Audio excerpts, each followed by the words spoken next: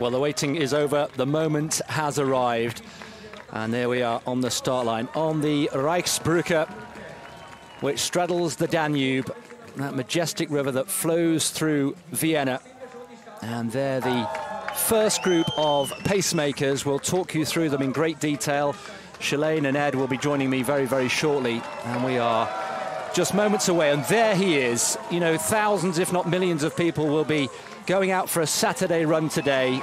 Well, this could be the most famous Saturday run the world has ever seen. And it's all about this man, Eliud Kipchoge from Kenya. They're the pacemakers. Bernard Lagat is the captain. And let's just remind ourselves of the formation of these pacemakers. There are Five teams of seven, and that is the open V that Ed was talking about with EK Eliud Kipchoge at the heart of it, and two wingmen, if you like, behind, all guaranteed to take the wind resistance out of Eliud's performance. Five team captains. The first of them, Bernard Lagat, he's 44 years old. He's the oldest of the pacemakers in action today. The youngest is just 19 years old. And this first group will take them through to the first three kilometres. The current weather, well, almost perfect. A little bit more humid at 90% than was expected and was wanted, but uh, Eliud Kipchoge, I'm sure, will be able to, to cope with that. So we're into the final few minutes before countdown. What on earth is going through the mind of Eliud Kipchoge? How quickly, how fast is his heart beating? Five,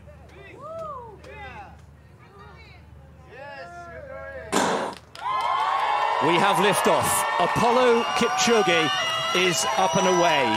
And the challenge, very easy to say, to run 26.2 miles, 42.2 kilometres in under two hours. Very easy to say, rather more difficult to achieve. And they're on their way on the Reichsbrücke, travelling over the Danube, and they will be heading into the Prater very, very shortly indeed. Shalane and Ed have joined me in the commentary box. And uh, Shalane, former winner, of course, of the New York Marathon just, what, two years ago. In these early kilometres, what's most important for Eliud? Right now, Eliud is um, just completely relaxed. He is just in a state of flow. He's just locking in to the pace really no mental energy is going to be wasted right now. It's um, almost kind of trying to fall asleep a little bit. He's just looking at the back of his pacers, uh, looking at the back of specifically Bernard Lagat right there. They've been practicing all week these formations. He's very familiar with these guys. He's very comfortable. So he's just finding his rhythm, settling into pace, turning off the brain, saving all that mental energy for when it really starts to get tough and hurt, which is inevitable in the marathon. So into the second minute of this uh, extraordinary uh, challenge here. And of course, the crowd is already building already. We're expecting 20 to 25,000 people lining the route. It's absolutely perfect. It's tailor-made for spectating here. The Prater, uh, the green lung, if you like, of, uh, of, Vienna, the largest park in the capital city of Austria, is going to be packed here. It's perfect. There's not a, a breath of wind. We're looking at beautiful autumnal colours and they make their way. Ed has joined us also in the commentary box. We're going to talk about the pacing in great detail throughout the next two hours, Ed, but just give us a sense of how revolutionary this open V formation is. Well, it just looks like it shouldn't work. They're, you know, they're, they're running with this wide front and, uh, and it's a reverse V, and you think, well, how can that work? But everyone tells me that it reduces drag on Eliud, and uh, and they've done all the testing that they need to do to, to ensure that it's actually the, the optimal formation. Two men behind, of course, as we've said, and we'll uh, introduce you to the, the new teams as they come and go. The drop-in, drop-out function or system is going to be absolutely key, so we'll be making sure that we, we talk you through that. But essentially, in terms of formation, it's two at the front, two behind them, then the captain, and in this case, it's Bernard Lagat, the uh, multiple world and Olympic champion. There he is, centre picture, with all that experience at 44 years old. Eliud, of course, in the white, right at the heart of it, and then the two wingmen behind. And the way they come in and out uh, will be absolutely key. Shalane, the magic figure of 250 something has been achieved. It means they're through the first kilometre. Yeah, um, it's, uh, I mean, they look relaxed like they should, right? they look amazing. Absolutely fantastic. Now, here we go. Look, the first kilometre completed, 41.2 to go. The speed at which they are travelling is quite extraordinary. We saw before the uh, the race started, the challenge started, uh, the treadmill with various people trying to have a go. And I have to say, Ed, I'm, I'm sure you're the same. I've actually been on a treadmill at sub-two-hour marathon speed. I must about 40 seconds. They had a couple of people standing behind me at the back to make sure I didn't fall off. It's going that quick. Uh, Shalane, let's talk about all the ingredients that need to go into producing this phenomenal feat. A lot of people, including Heidi Haile Gebrselassie, have likened it to a recipe, if you like, for making the perfect cake. And I know you've you've written a couple of cookery books yourself. so let's just talk over the next couple of hours about the, the various ingredients we need to make sure that this perfect cake, this sub-two-hour marathon, is achieved. And I guess the first thing we need to talk about is the main ingredient, a world-class athlete in tip-top condition. So as an athlete, what makes Eliud so, so special? Well, I look at Eliud and his career started as a track athlete. He has this background and pedigree of being a phenomenal track racer. Um, I believe he's run about um, 12, 1248, I believe, in the 5K. He has won 11 of his 12 marathons. He's run London four times, Berlin three times. He's won uh, the 2016 Rio Olympics. He has every accolade there is um, to his name, and this is really the last barrier for him. Um, but all of that training over his career is setting up the stage for today. All of that training is accumulated into hopefully a phenomenal performance. And Ed, you, you were in Monza like uh, Shalane. Uh, what are the improvement points, do you think, essentially, when it boils down to it? That was a, a terrifically successful experiment. It needs to be bettered here in Vienna today. What are the key things that need to be improved, do you think? I think the course is slightly better. It's straighter. Uh, you know, turns are, the, are, one of the things that, that hurt you in terms of time. Uh, I think that this pace formation could, could make a big difference. Um, you know, they're also wearing the most advanced shoes, so that's a difference. Uh, the uh, intake of carbs, which he gets through a drink or a gel that's taped onto the bottle, that's been slightly refined. So the important thing is that he's not going to uh, hopefully run out of fuel. So all these tiny little tweaks are helping him along. I believe um, he's consuming the Maurten um, gels and uh, fluids every 5K, um, and um, I believe it's like about 250 milliliters is what he'll be consuming. Right, we'll see that. And we've just out of picture, we've actually got uh, Valentijn Trouw, who's the uh, the performance manager. He's the athlete manager. He will be on the bicycle, who will be handing the drinks to Eliud and, and the gels, and we'll talk you through that when it happens. We're looking for what about seven. 50 or so, aren't we, for the uh, the first three kilometres uh, when when the the pacemaker teams will change. Just a quick word about Ed about Eliud Kipchoge, the man. We've heard how humble he is, how disciplined, how down to earth he is. You've spent some time out there. What is he like as a person?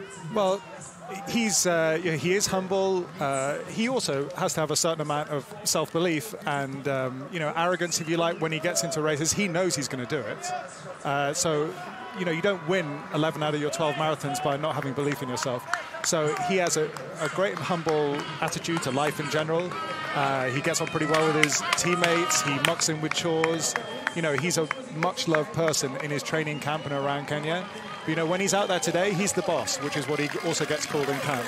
So, you know, he's just switched into boss mode right now. He is a phenomenal person as well as a, a phenomenal athlete, and there he is just bunched in behind the pacemakers. The absolute trust between all eight people at any one time cannot be overstated. Bernard Lagat there, right at the heart of it, the initial captain, and he will be handing over shortly to the second team, and Eric Kiptanui will be the, the second captain.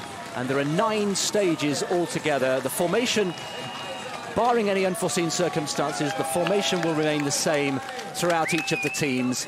And the one constant throughout of all this, of course, is Eliud himself. Eliud Kipchoge there in the white at the heart of things.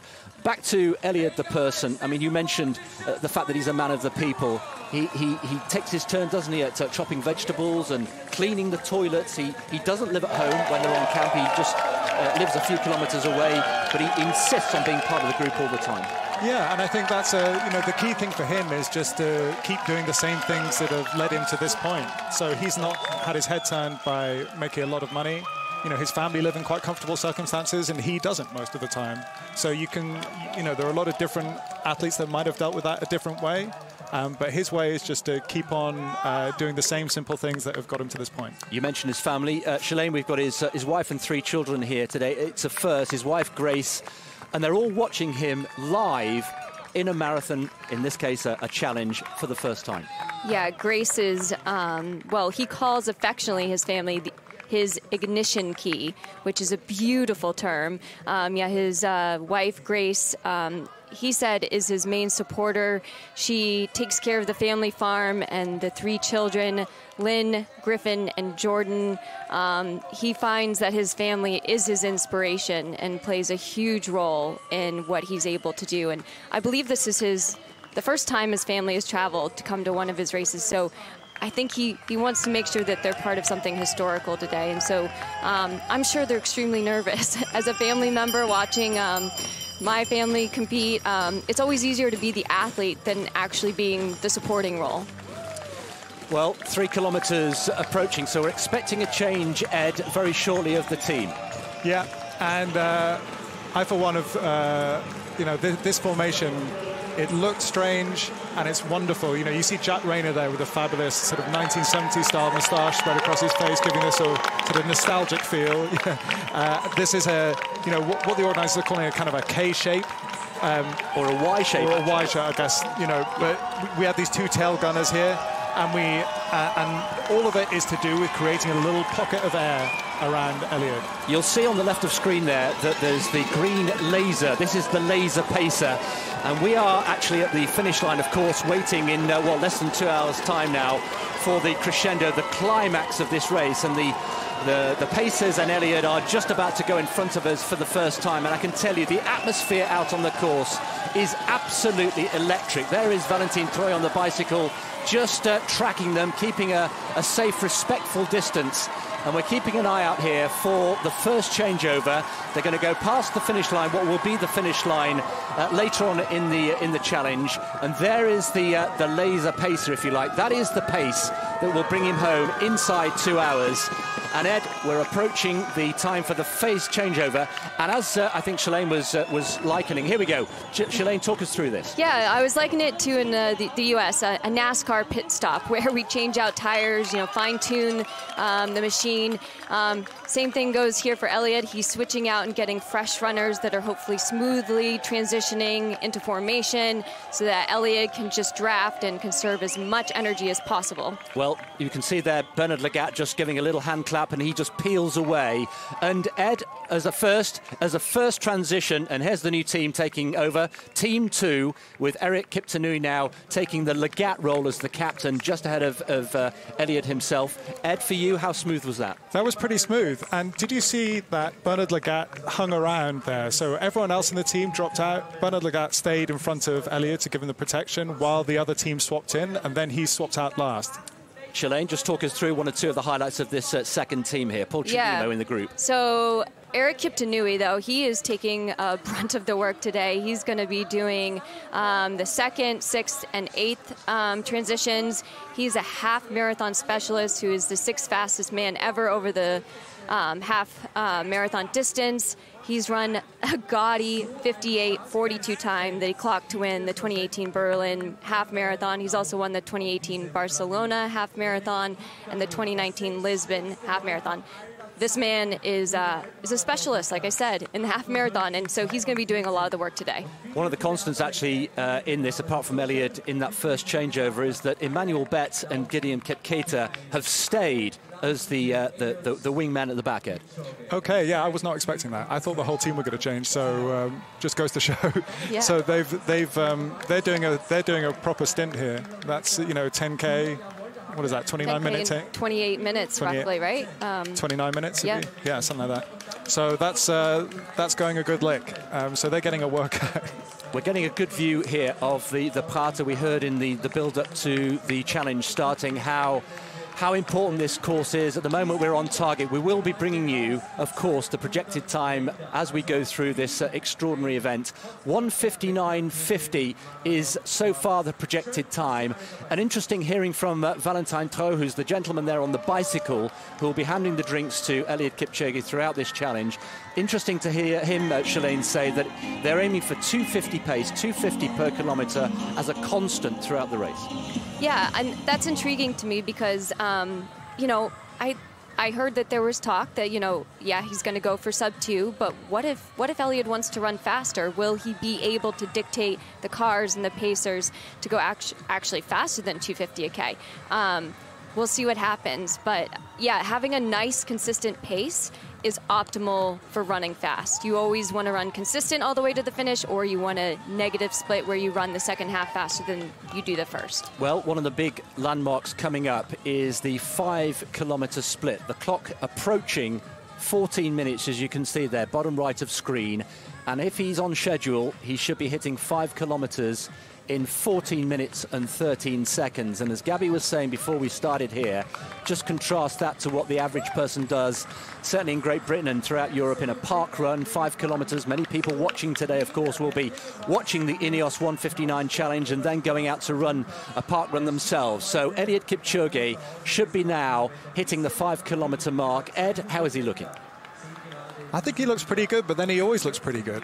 So let's see what, you know, they, they say in Kenya the race starts at 35. Um, if he's still looking good at 35, I think he's got a, you know, a, a great shot. Um, but, you know, one of the tells that you have with Eliud, if we can uh, see him, is that sometimes he looks with his thumbs when he's very relaxed. He looks like he's brushing lint from his, uh, you know, lapels of his tuxedo jacket, perhaps. Uh, you know, you get this beautiful rhythm. And you know he's slightly in trouble when he stops brushing lint. So, um, you know, right now he looks super relaxed, and it doesn't look like uh, this pace is hurting him too much. But let's let's see how he goes. Absolutely, long way to go. And and Shalane, for those people perhaps who've never seen Eliud uh, race before. In the final stages, when most of us would be on our knees, and I think all three of us in this commentary booth have run a marathon ourselves, that's the very time when Eliud breaks into a smile. He does. It is counterintuitive. When he is hurting most, he has a giant smile across his face, and people think like, "Oh, what is he giggling at? Like, what is going on here?" But that's his way of trying to trick his brain to lean into the hurt and to try to not recognize the pain that he's putting himself through. But that is the telltale sign that everyone knows when Eliud is hurting, he's actually smiling. I also think he might actually do that when he's in a very close race as well. Sometimes he, I remember when he was in this big fight with Wilson Kipsang in the, in the London Marathon, and he shot him a big smile when he when he took it that near would be the end. intimidating. That would be eh? intimidating. Well, we talked about Eliud the athlete. We've talked a little bit about Eliud the person. Of course, a big a factor, and we go back to our little uh, metaphor of the of the cake and what all the ingredients that go into make this. Uh, we're approaching the first of the roundabouts here. This is the Lusthaus. This is the smaller of the two roundabouts. So essentially, uh, in image terms, we're, we're looking at like, like a, a dog's bone, if you like, with a straight piece uh, along the middle, which is the, the part of the Hauptallee. And they're now going around the smaller of the two roundabouts, the Lusthaus. And in the middle of that is a, a former hunting lodge, and it was uh, badly bombed actually during the Second World War and then rebuilt in 1948. There it is, there is the Lusthaus, and it's now, Shalane, a place to, uh, to grab coffee. It's a, a, cafe and a restaurant, and I think we may all be going for breakfast actually afterwards. Oh, uh, and maybe Ellie would join us. Yes, um, I think it's important to note too with these lines that you're seeing in the road that these lines are actually for Eliud, that he does not cross over the line because if he did cross over the line, he would technically be DQ'd because he'd be running less than the marathon distance. So these lines that are in the road are not for the pacers, they're for Eliud to make sure he doesn't cross over.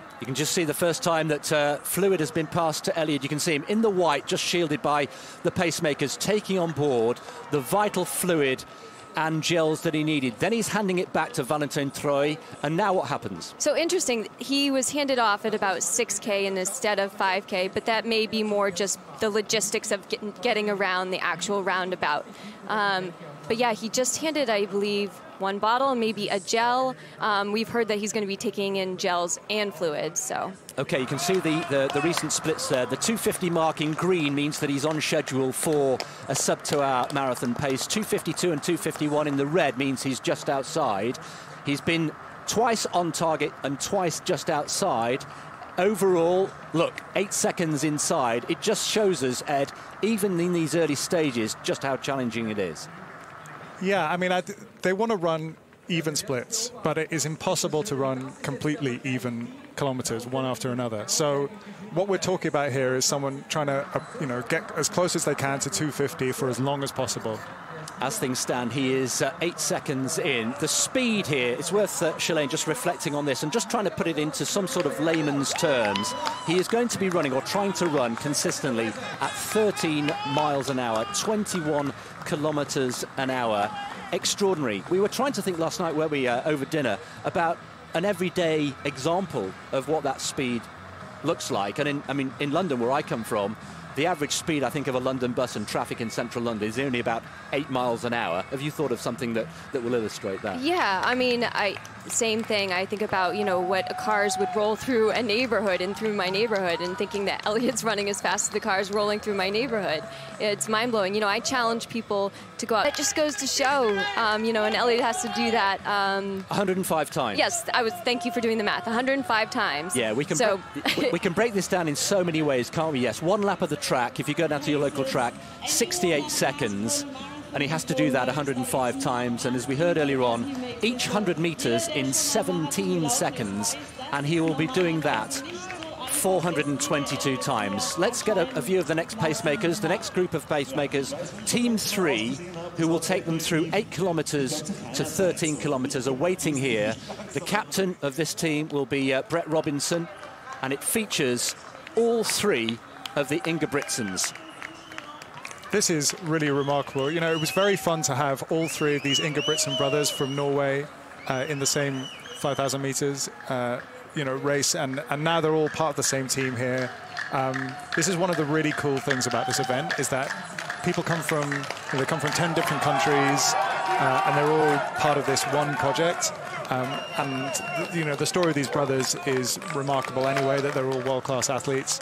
Um, so to have them all in the same uh, same team is really something here. Yeah, and the Ingebrigtsens just came off of the World Championships in Doha, where they competed um, in the 5,000 meters and 1,500 meters and had had a great World Championships. Maybe we're hoping to come away with um, more medals, but you know they've extended their season to come here and help Eliud, and um, I think that's tremendous. The last K, the seventh K, was in 2:48, so we are under prescribed schedule right now. Yeah, and just a couple of seconds makes all the difference. So we've just given ourselves a little bit more uh, margin for comfort here. 10 seconds inside sub two hour pace so far, and we're heading towards the eight kilometre mark. Ed, just a little update on what we read into the facial expression and the body language of Eliud himself. Yeah, I think he looks smooth. Um, it doesn't look like he's hurting too badly. He, you know, there, this is will be a tumult of exertion. There's just no other way to look at it. He's going to spend two hours working really hard, but what he's trying to do is tamp down those those feelings. Shalane has actually done this, uh, you know, at a professional level and won big marathons. And I wonder what it actually feels like when you're when you're in this situation. Yeah, these early stages, I'm thinking about all about conserving energy because it's inevitably going to get hard. But you're always hoping that you're having an on day and that the hard doesn't get hard to the very end.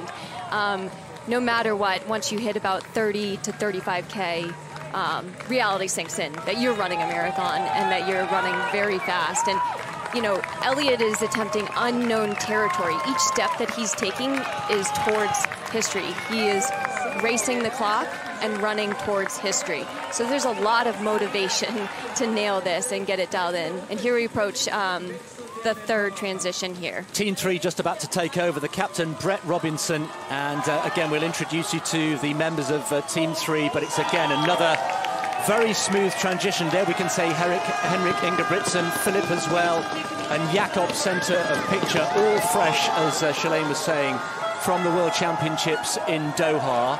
Again, marks out of 10, Ed, for that transition. I think that one was the best one yet. Agreed, that looks so smooth. You know, it could be that the fact that three brothers are so accustomed to running together, but that looked really smooth. And the crowd appreciated it as well. You can hear them tapping on the sides there, absolutely fully dialed in. So let's introduce you to this uh, new team. Team three, remember there are five teams in total, and we've not got one, but two, but three Ingebrigtsen. Shalane, just pick out one or two of these for us. Well, so Brett Robinson actually is the team captain. He's the Australian. Oh, Henrik.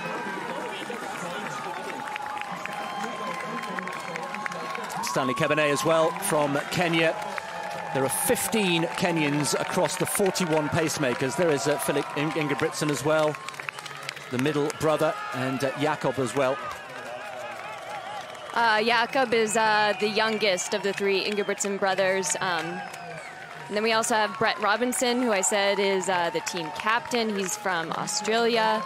Um, it's quite a collection, isn't it? And we've changed the wingmen, Ed. Uh, this time we've got uh, Kipserem and uh, Jonathan Correa now operating as the the bottom of the Y. I think um, in an absolutely ideal situation, they would run it, be running a bit closer to each other, the wingmen at the back. Um, apparently, that's what what helps you know prevent the wash. Um, but you know, I think everything is uh, everything looks pretty good here. And I, you know, I think the main thing is that Eliud stays quite close to the guy that's in front of him, the captain. I think that's the kind of key the key part of this of this formation. Well, well, let's hear from one of the uh, the pacemakers. Let's hear from Emmanuel Bett, who's been talking to our reporter, Kristen Arnold. Emmanuel, that formation, why does it work so well? Uh, that formation is very excellent because when we go in that V shape, it really assists Eliud and it gives the pacers uh, to, to attain the 250 mark per kilometer. So I think that strategy is very nice, especially towards the target of 159.59. Yes. Have you given Eliud the best possible chance at the start? Exactly. I hope everything will go well. Yes. So I have confidence the way he was he was running because I was looking from behind. If it goes all everything goes like that, excellent. 159, 59 will be capable. And how, how smooth was that first transition? It was nice. Everything was in order. It was organized. The pacers are really catching up with the uh, that with the formation. Yes, exchange formation. Emmanuel, thanks for chatting to us. Go and recover. Thank you too. Thanks. Bye bye. Bye bye. Bye bye, Emmanuel. Yes, his work is done for the day because he uh, he took on the first two uh, teams and was uh, one of the two two wingmen. So uh, Emmanuel Bett has, has, done a great friend. There we've just got a great shot of the uh, the Hauptallee, the main stretch, and it's worth just reiterating, Shalane, that 90% of this entire course is flat and straight. yes, you couldn't ask for a more flat and straight road. And that is prime for fast running. Um, anytime you have to make turns is when you actually are slowing down, so they've minimized the amount of turns. The target time holding up pretty well. We've been hovering between 8 and 10 seconds inside sub two hour pace. So far, so far, so good. And Ed, the next real milestone will be the 10 kilometer mark. And uh, sub two hour pace would put him in what, 28, 26? Yeah, which is a pretty tidy 10K. Uh, and he's got to do it four and a bit times. do you mind me being rude and asking what your best 10k time is? My best 10k time is 37.22, I think. Uh, so I have, um, yeah, I would be going some. I wouldn't make, I wouldn't make 500 meters with these guys. Shalane? Mine is uh, 30.22 from the Beijing Olympics. So, yep, not even close. well, you're just better than me, Shalane.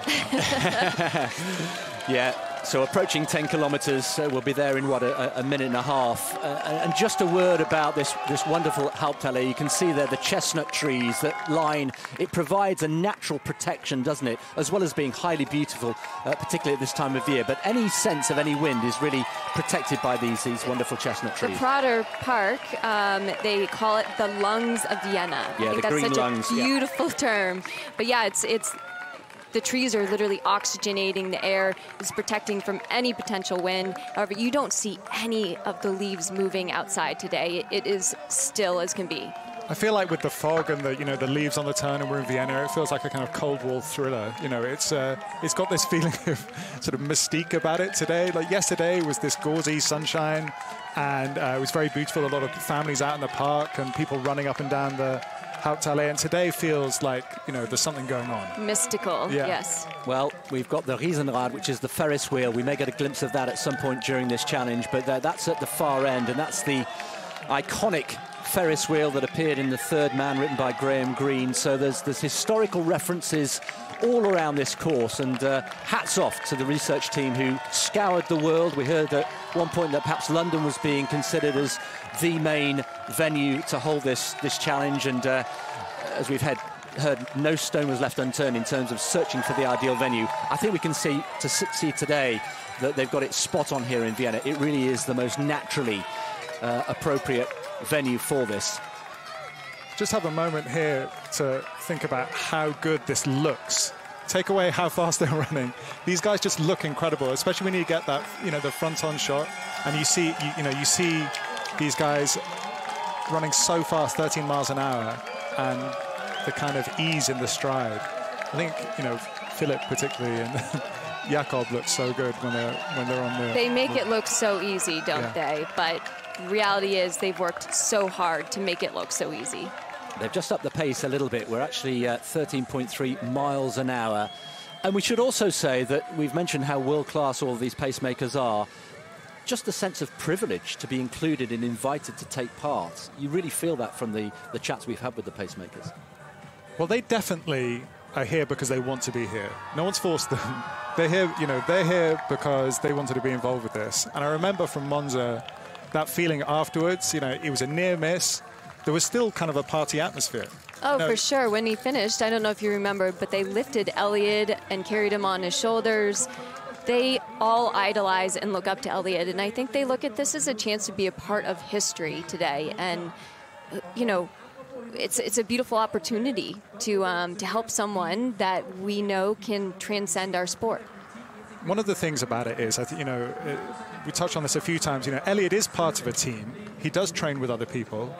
But when it comes down to it, you, you start on the, you know, on the start line and you're on your own. This feels more like a kind of Ryder Cup moment, or um, you know, it's a team. It's a it's a team moment in a in a sport that doesn't normally have teams. Yeah, So- they're looking to be a part of something bigger than themselves today. and also quite fun to run. You don't want to be the guy that messes up, but also quite fun just to run with nothing personally on the line for you yourself. You're just running for someone else. I think actually that might be quite of a stress relief. It is. It, I mean, it's a thrill. It's it's nice to have that motivation to run for someone else and um, really allow them to fulfill their dreams because you helped out. That's a great feeling. Well, they're going round the, the second, the larger of the two roundabouts. This is the uh, the Praterstern, which is at the northern end of this dog bone that we've uh, described the course as. And the crowds, again, really thick, several deep on all sides. And I have to say, here on the uh, the Hauptallee itself, the atmosphere is absolutely electric. We're going to bring you uh, the latest splits uh, per kilometre as soon as we can. But so far, so good for Eliud Kipchoge through 10 kilometres on sub two hour pace. And uh, if you're just joining us here and wondering what's that funny laser green line, that's the line that is guiding the pacemakers on sub two hour pace. That will get them inside two hours on 159.59 or even better, we hope, Shalane.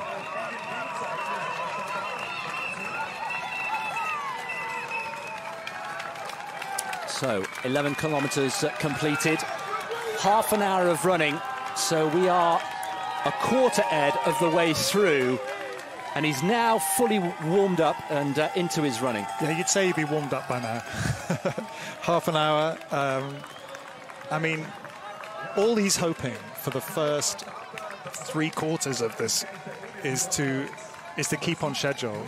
You see sometimes the, the kilometer splits drift out for a kilometer, then they come back. I think he won't be too worried about that. Um, you know, what, what you worry about is if they start to drift inexorably. But but he'll be, he'll be thinking right now, this is you know he's on schedule, and uh, he doesn't look I don't know what you think, Shane. He doesn't Yeah. look like he's been he's having too much trouble here. Oh no! I mean, well, first of all, Eliud is just a beautiful runner, and even when um, he does break down, it's it's very very small increments. But um, the fact that he's within seconds of his goal predicted time um, right now is is not a big factor. Is if we saw that the splits were starting to drift backwards continuously, but they're not. They're just fluctuating by a second, second faster, second on, maybe one second slower. That's really nothing to worry about right now. Um, as long as the overall time is where we need it to be, is what is important. We can make some comparisons with how he was going in Monza, and actually up to halfway, he was inside sub two hour pace, and at halfway exactly, he was three seconds inside.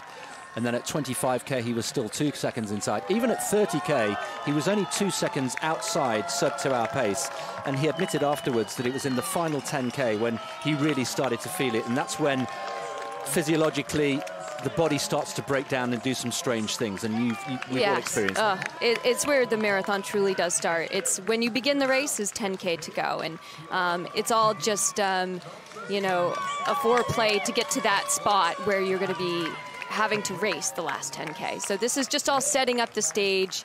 This is just the the foundation, but the real running and the real race begins. This is the undercoat and the primer before we apply the gloss later on. Yes. Yes. Um, what about negative split? Very much the modern way, isn't it, in what we could call traditional marathon running, where we have a competitive race. This is very different here. If we believe the information we were getting at the start of the race, we're going for 250Ks throughout. Does that mean that negative splits don't come into it here? Well, I would just, I mean, I would temper that slightly with saying everyone always talks about a negative split as being the best way to run a marathon. Very few people actually do it. You know, it's very, it's a hard thing to do because you feel worse at the end when, you know, when you're meant to be going quicker. For those people watching who don't know what we mean by a negative Okay, so a negative split is when you run the second half of the marathon quicker than you run the first half. And we're only talking about, you know, a few seconds here. Um, you know, the, the organisers and, and Eliud himself have, you know, come to the come to the conclusion that, you know, an even split, first half the same speed as the second, is going to be the most efficient way to do this. So, you know, we'll see what he goes through in halfway in. But if it's something like Monza, you know, 59.50, something like that, 59.57 in Monza. 59.57. So I would think he might be a couple of seconds inside that if he's on if he's on schedule here. As And an athlete, I would want a cushion. I would want a few seconds under and um, hope that, you know, I can maintain or even close faster. But um, for sure, I would want to see something under the 60 minutes when I went through halfway if I were Eliud. When you ran your fastest, did you run a negative split? Um, yes, I. Well, actually, good question. Um, I think I was going for the American record in Berlin, and I may have actually positive split, to be honest. But I think I went out a little too aggressive for my fitness. But you have to find out where you're at, right? Like you have to find out what you're capable of. So sometimes you have to push that barrier. Um, I think this is a little bit more calculated. I think they know exactly what he's capable of, um, and that's the whole point. We're going to find out what he is capable of, and that's what he wants to know. Yeah. He, po- he posted this little thing on on uh, Instagram last night, um, which was you know he wants to f- you know he wants to find out where the limits are. Well, he's about an hour away from discovering, I think. And we've talked a lot about why this won't be a world record. And again, for those people who are, who are just joining us, uh, Shalane, there are three primary reasons why, if he does it today, it will be an extraordinary achievement. It will be an historic achievement, but it won't be a world record. Just remind us of why that is. Yeah, there are three um, vital factors here why it would not be considered a world record by the IAAF. The first one is Eliud is the sole competitor in this race and in this challenge. Um, in order for it to be ratified, there has to be more than one competitor. These pacers don't count as competitors. In fact, um, the second reason is having pacers coming in and out of the race um, also violates the rule. Um, they'll be interchanging. Um, and then the third one is the fact that the fluids will be handed to Eliud via a bike and not picked up traditionally like in a major marathon um, on a table. So those are the three reasons why it will not be ratified as a world record. And Ed, I was reading actually, and you're a, a historian of, of the marathon distance. There was a point at which actually it was illegal to take on any fluid within the first 10 miles of the race. And had somebody done that at that time in history, that would have invalidated any time, any world record. Yeah, the rules have changed in interesting and complicated ways over the years. You know, there was a race in uh, in St. Louis, uh, the Olympic marathon, where the guy that that uh, won the race was on strychnine, which was rat poison. You know, and he you know the he was not strictly ushered to the anti-doping tent at that point in 1906. So, you know, there have always been always been changes to the way that these things are regulated. Um, I think the most obvious transgression of the rules is the is the pace setting formation. We're about to head to team number four, who will take us through the pacemaking team, led by uh, the Swiss Julien Wanders, and they're standing by, waiting for what we hope will be another uh, smooth transition. So team four standing by, and let's see how smooth that transition is. Here they go. Shalane, talk us through this one. Yeah, I'm watching the execution, looked really smooth. Um, we have in uh, the arm sleeves, nice choice today by Lopez Lomong, um, who's actually a teammate of mine and I, I help coach at the Bowerman Track Club. Um, he's a multi-Olympian. Wow, that was a great transition. I love that. And uh, we have one of our only um, athletes from Japan in this team, yeah, Lopez Lomong, like I said, of the Nike and USA, uh, the Bowerman Track Club. Uh, Patrick Tiernan of Australia. Um, Shadrach Koick as well. It's a truly international team. Murayama from, from Japan.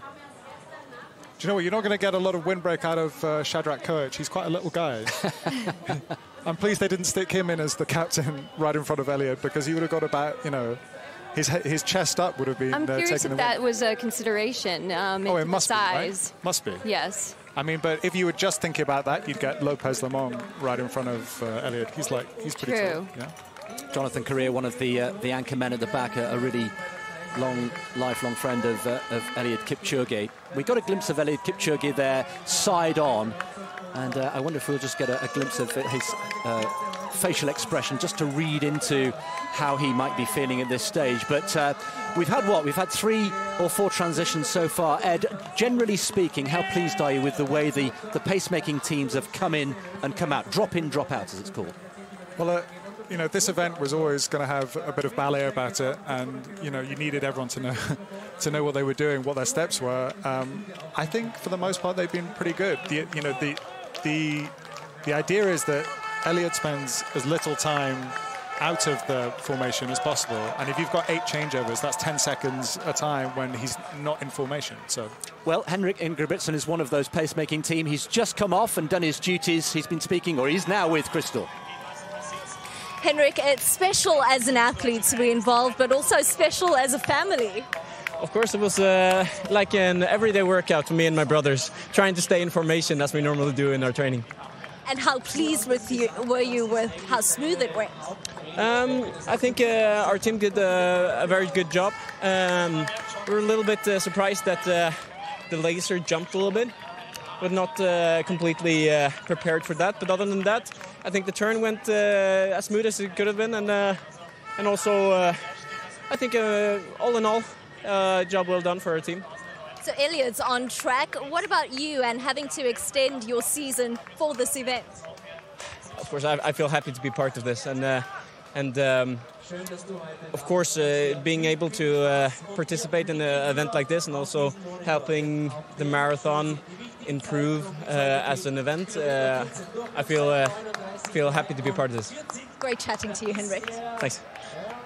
Well, it's been a long season, but I'm sure they won't have missed this uh, for the world, particularly if history is made today. If you're just joining us, you're very welcome indeed. We could be seeing history unfolding here on the streets of Vienna in the Prater, this uh, famous park which runs pretty much parallel to the majestic Danube.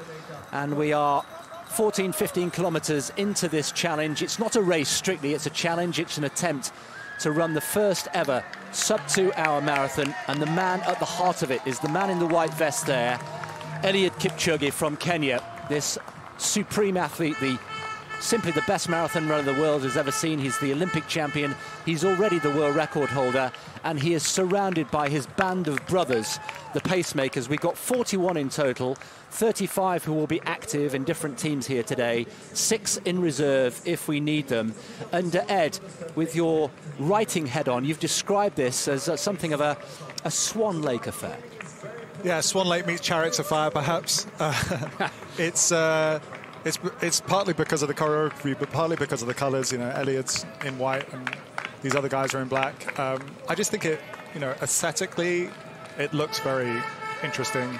And you know what I love is you know the lasers are pouring out this this place on the road where the where the guys have to find their marks. You know, imagine having to do all this running at 13 miles an hour. You know, we're, we're talking about you know a pace that would be crazy for most people, even very fit club athletes, to, to consider. And you're having to absolutely hit your spots. 12 centimeters to the left or the right, you know, you're, you're not doing your job. Absolutely right. And as uh, mentioned, there is uh, there are parallel, you can see them now on the tarmac, those parallel lines in orange, which um, they have to keep within, of course, down the Hauptallee. That's very straightforward. But it's actually when they go around the two roundabouts at the either end of this course that that becomes crucial.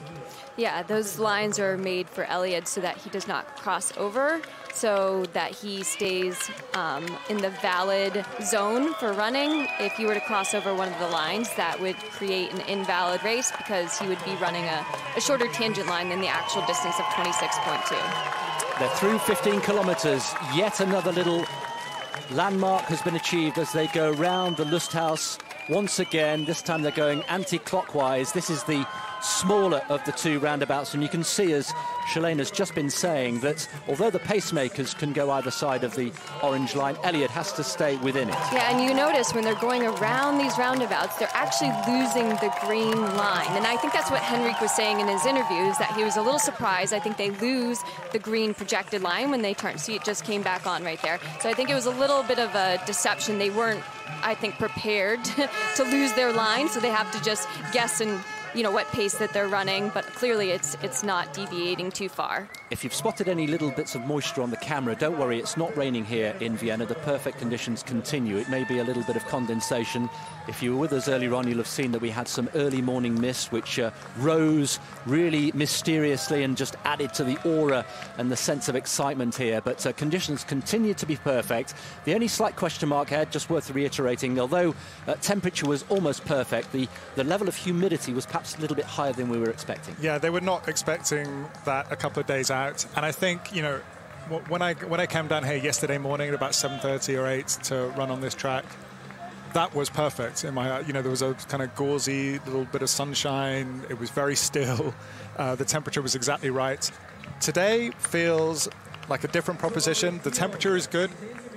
The temperature is good well, the pacemakers continue to do their job, and they have been expertly put together and assembled by Spencer Barden, who is uh, a very well known figure in marathon running circles. He's the uh, elite director for the London Marathon. He's been uh, heavily involved in choosing and training and forming these pacemakers, and he's now with Crystal. First things first, Spencer, is it going to plan? So far, all is going to plan. So uh, early, early days yet, still a long way to go. But the, the exchanges have gone very well so far. Uh, Eliud's on, on, pace, so uh, so far so good. I'm interested in the conceptualizing of the formations. Can you take us through that process? Yeah, so we've done a lot of work uh, in the build up to this event in terms of looking at the formations, what was best for Eliud, what give him the most uh, protection out on the course. So we've come up with a, it's not a conventional formation. Uh, we've done a lot of testing with the athletes at the test event and here in the last couple of days. Um, but we've got a fantastic group of world class athletes. So they're, they're, they're, they're, relishing the opportunity and they're, they're working well in the formation, communicating with each other. Uh, and so far, it's uh, all going very well. And we've seen you communicating with the athletes before and after. What is some of the feedback that you're getting? Just some final instructions, really. Uh, just more to relax, don't panic. Uh, if, if, something does go wrong, just you know work it through. Uh, don't get in a situation where the important thing is not to not to trip or, or, or trip each other or trip Eliud. They just got to stay relaxed. Um, you know, maybe something will go wrong. Hopefully not, but uh, the guys are experienced and they know what they're doing. And the crucial parts come a bit later.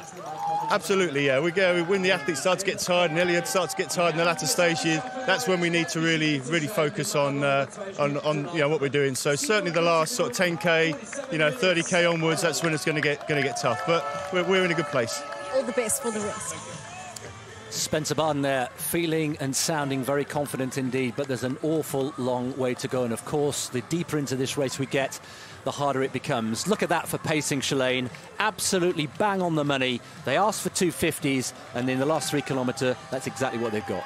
Beautiful execution of the pace. Um, but to be expected. These guys are professionals, and um, they're setting it up for Eliud. You're a world-class uh, marathon runner yourself. You've won the New York Marathon. Can you feel, do you know what it feels like to run, not necessarily 250s, that's superhuman, but if you were running at, say, threes or 310s or 320s, does your body inherently know what that feels like? Well, you train the body and you train the mind. Eliud has been preparing for this moment, well, his whole career, but specifically the last four months. There are things he's been doing in training to um, increase his threshold and to allow him to be a better athlete. Um, you know, he he, I guess, at the beginning of the season, four months out, started doing some gym sessions, which he'd never really done. Um, they spanned about two and a half hours, three times a week. He wasn't doing a lot of mileage yet, so he was getting in the gym to build strength.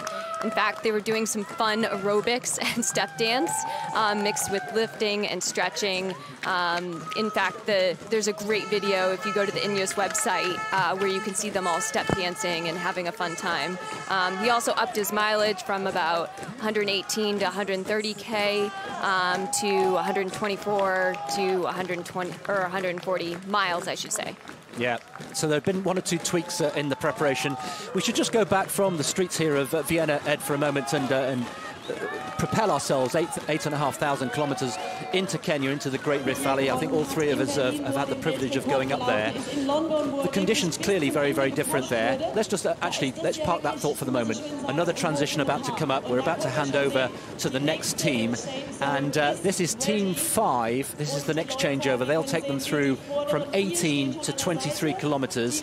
And the captain, Shalane, of this team, Team 5, a man you know very well indeed. yes, teammate of mine of the Bowerman Track Club, Matt Centrowitz. Centrowitz is one of the most decorated middle distance runners of, of our generation, and he's current uh, Olympic 1500 meter champion. He's 20, 29 years old, soon to be 30, and um, a team captain. He's a great communicator.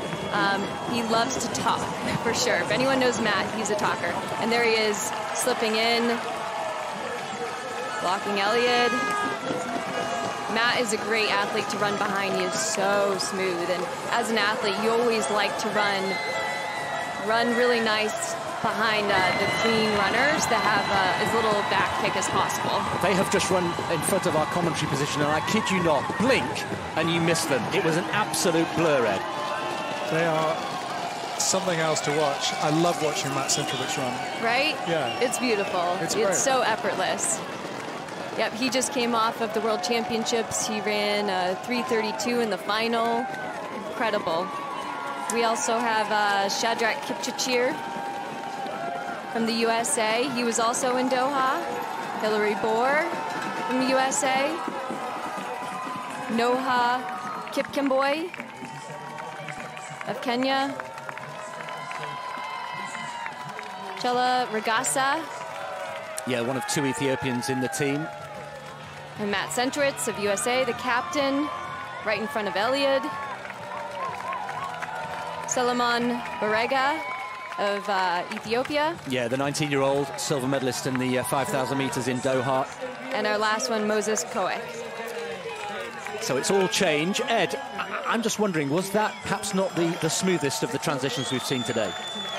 Yeah, I think that was, you know, you saw the way that um, Matt Centrowitz just had in his mind he was going to shield Eliud right from the very first moment, so he even shifted across with him. That was very cool. Um, they seem to be executing these really well. You know what? The thing that to, to look for is, you know, I think it's Eric Kiptanui who's got to do three of these. You know, it, he's been asked to basically do a, a, rep session where he does three times 5K at 14:30, you know, with a long gap in between. Let's see how good their changes are the third time he has to do it, you know, because there's going to be fatigue. The athletes will be, you know, the paces will. The paces are going to be tired. getting fatigued. Yeah. So, so you know, the first ones you'd hope would be really good. Everyone be on their toes. Um, the real skill is going to be to do it when you're tired. Well, the current captain of uh, this latest team, Matt Centrowitz, has uh, just started his journey. The previous captain, Julien Wanders from Switzerland, who spends a lot of his time up with uh, Eliud in Kenya, he's with Crystal now. Julien, as captain, tell us about that role and how crucial it is for today. Yeah, my role as a captain is uh, very important because actually Eliud is supposed just to follow me. So he's not supposed to think about anything, just follow me. And I also have to lead the guys in front of me. So if they are not on the line, I have to tell them, uh, stay on the line, go a bit more in front. And uh, also it's important in the roundabout because this is a little bit uh, tricky. There is no lane anymore with the laser. So I have to keep the, the right lane, so in, in the inside as much as possible so that we don't lose time on the roundabout, yeah so special to be in this event, but running almost to make Eliud's dreams come true. Yeah, it's a, it's a big honor. I think all of the pacemakers are so happy to be here. Uh, it's a privilege, and uh, you know, uh, for us, we are just a small part. I mean, running 5k is nothing compared to uh, to 42 kilometer, and ah, I, I, can say it's a big, big inspiration. And I think uh, he's really showing that uh, there's no limit in his mind. Yeah. Julien, you have such a connection to Kenya. I love your bracelet. It says run in Swahili. Tell us about Kenya, the experience of training with Eliud. Uh, yeah, so for me, I live in Kenya for now four years. Uh, I don't train with Eliud, but uh, not far in Iten. And I have an amazing group to train with. Uh, we push each other every day, and I, I, just like the mentality of the Kenyans. It's just uh, so amazing, so inspiring, and it has helped me to improve so much and I think I just find the right environment for me. I just feel like I'm Kenyan now. And judging from what you picked up from Eliud along this section of the race, do you think he's on track? Yeah, definitely he's on track. For now, he, he just, uh, I think he's feeling easy because he's not even at halfway. Uh, what I admire is the, the focus, the concentration. And you know, with the pacemaker coming and going out, it's not easy. So he has to be also very focused. And uh, I think he will do it. Uh, I, it's not even I think, I'm sure he will do it. Thanks, Julien. Asante sana, Julien Wanders there, a native Kenyan now, originally from Switzerland. So 19 kilometres completed. The next milestone, of course, will be the 20k mark. 56.52 would put him bang on course. So we've got a couple of minutes ahead. Let's just go back to the Great Rift Valley and what it's like uh, up in uh, Eldoret and uh, Kaptagat. Uh, there's the latest splits coming through, 250s, and they've just slightly increased there, 248 Shalane uh, for that latest kilometre. Um, I mean, they're right on target. We'll get our, yeah, it says on, on target. I think it says uh, under 11 seconds, but we'll we'll get the real feedback when we hit 20K. Like you said, we want to be 56.49. Yeah, 56, uh, 52 or something thereabouts for 20K and uh, 59 57 through through halfway. So the next uh, milestone will be uh, halfway. Uh, Kaptagat at 2400 meters at altitude. Here we are in Vienna at 165 meters above sea level. The conditions up there Ed very very different. Just take us there. Yeah the only similarity really uh, is that uh, Eliud's training camp is in a forest. So um, he has this uh, very simple training camp. They go for long runs through the forest and all, all around dirt roads. Uh, they come back, wash from water from a well. You know, it really is quite rudimentary. Um, the training is quite often quite early in the morning, especially the long run. They would go out, you know, at sort of 5:45, 6 o'clock. So before sunrise. Yeah, and you know, the, the, the very fun thing is to follow them along in the you know in the Matatu bus and then watch as the sun comes up, and you've got this huge group of runners, uh, many of them world class you know, running their 40k long run. That's you know that's fabulous to watch. And Shalane, in terms of diets, when they're in the training camp, again, it's pretty basic stuff, but it's all high nutrition. Yeah, it's all high quality ingredients because it's locally sourced from the land right there. They have a diet of milk from local cows. They have beet juice, rice, ugali, which is like a maize flour, which is a, a Kenyan staple, and occasional meat. But it's it's just really simple foods. There's not a lot of processed foods, so um, it really allows them to have really great nutrition. And I don't, it's not that they're trying to have great nutrition, it's just naturally the way their culture is. Well, actually, I have to say the, the, the beet juice thing I think that might be a new innovation uh, because I don't remember, you know, from a few years ago anyone doing that. But there has been some science into in, into the you know the potential of uh, of beet juice. So I wonder whether that's something a little something's been introduced. Just a quick weather update. There was a 10% chance of rain forecast for today, and I can confirm that it has just started to rain now. So if we see one or two splits and spats on the on the camera lens, that is now real rain as they go around the Prater Stern again. The the larger of the two uh, roundabouts at either end of this Hauptallee course. And they are now through 20 kilometres. We'll bring you the latest split as soon as we get it. But 56 52 Shalane was the target for 20 kilometres. And very shortly, we will be through the halfway point. Yeah, I mean, they did not want rain. they did not predict rain, but you know, Eliud is prepared for anything. Um, I don't think that's going to deter him in any way. He probably isn't even recognizing that it's raining. Um, there's some great fans trying to lo- run along the course on the outside there, uh, maybe trying to capture a picture or encourage, but I don't think he'll be lasting very long. Oh, there he goes, chanting. What a surprise. He's disappearing off the picture. There is Eliud. We've been talking about all sorts of things, and of course, we shouldn't forget that the man at the heart of this whole day, this whole several months, years of planning, is Eliud Kipchoge. I'm noticing just a small, small gap from him to Matt Centrowitz, and I don't know, oh, if it was, you know, him just giving a little space or if he's kind of falling off a little bit. Um, I, it'll be interesting to see. Um, hopefully, he tucks right back in there with Matt. So through 20 kilometres, 252, so just outside the desired 250 pace for a sub two hour marathon. But uh, the green boxes show that those kilometres were within the uh, target. And you can see netting out of all that, we are still nine seconds inside sub two hour pace. 159.59, of course, is the target. Maybe even better than that. And the next milestone, Ed, will be the halfway mark. And a reminder that in Monza two years ago, when he had his first attempt at breaking the sub two hour marathon, he went through in 59.57. Yeah, so we're looking for anything in the high 59s uh, is good. So let's see. I was I was noticing that gap as well to, to Matt Centrowitz, and I was thinking maybe that's just the turn. You know, sometimes they get a bit strung out, and I don't think we've seen them from the side really on the turn, but it seems to have closed up a little bit. Yeah, he's closed back up to, to Matt Centrowitz. Um, it did have me, have me a little nervous, though, just watching him, um, only because, you know, the data shows that drafting, you conserve about 80% of energy as opposed to being out front and taking the brunt of the win.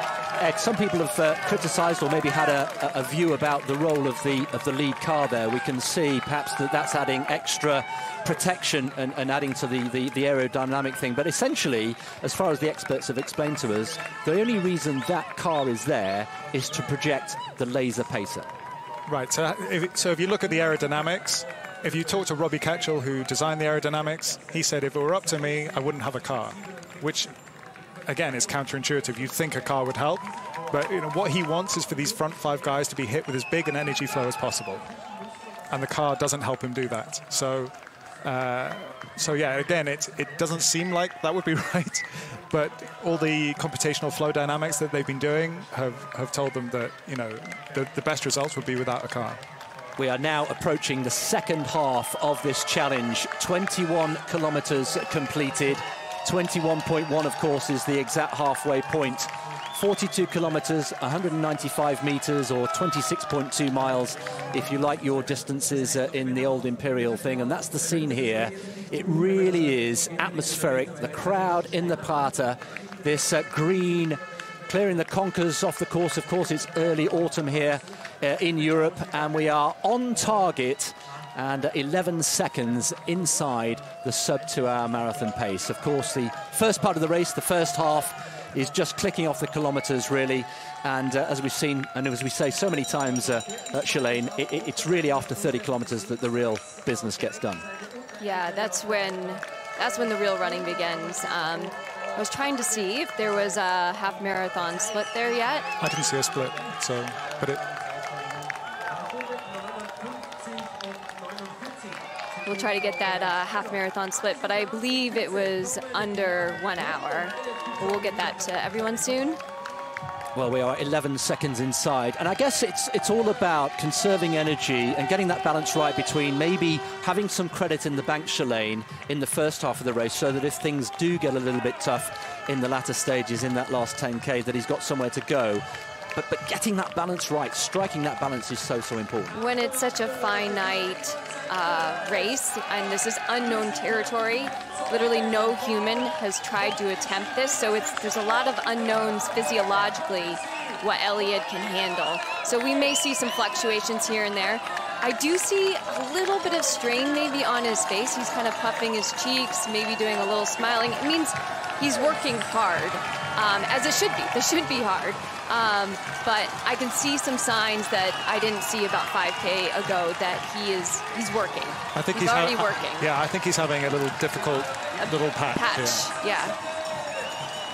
Well, we saw a couple of weeks ago in, in Berlin an astonishing run by Kenenisa Bekele, who also had a difficult moment in that race. And at one point, he was over 100 metres behind the leader and really struggling. He had, he said, a, a bit of a hamstring problem or a calf problem, but remarkably came through that uh, and stormed to within two seconds of, Ken, of uh, Eliud Kipchoge's world record.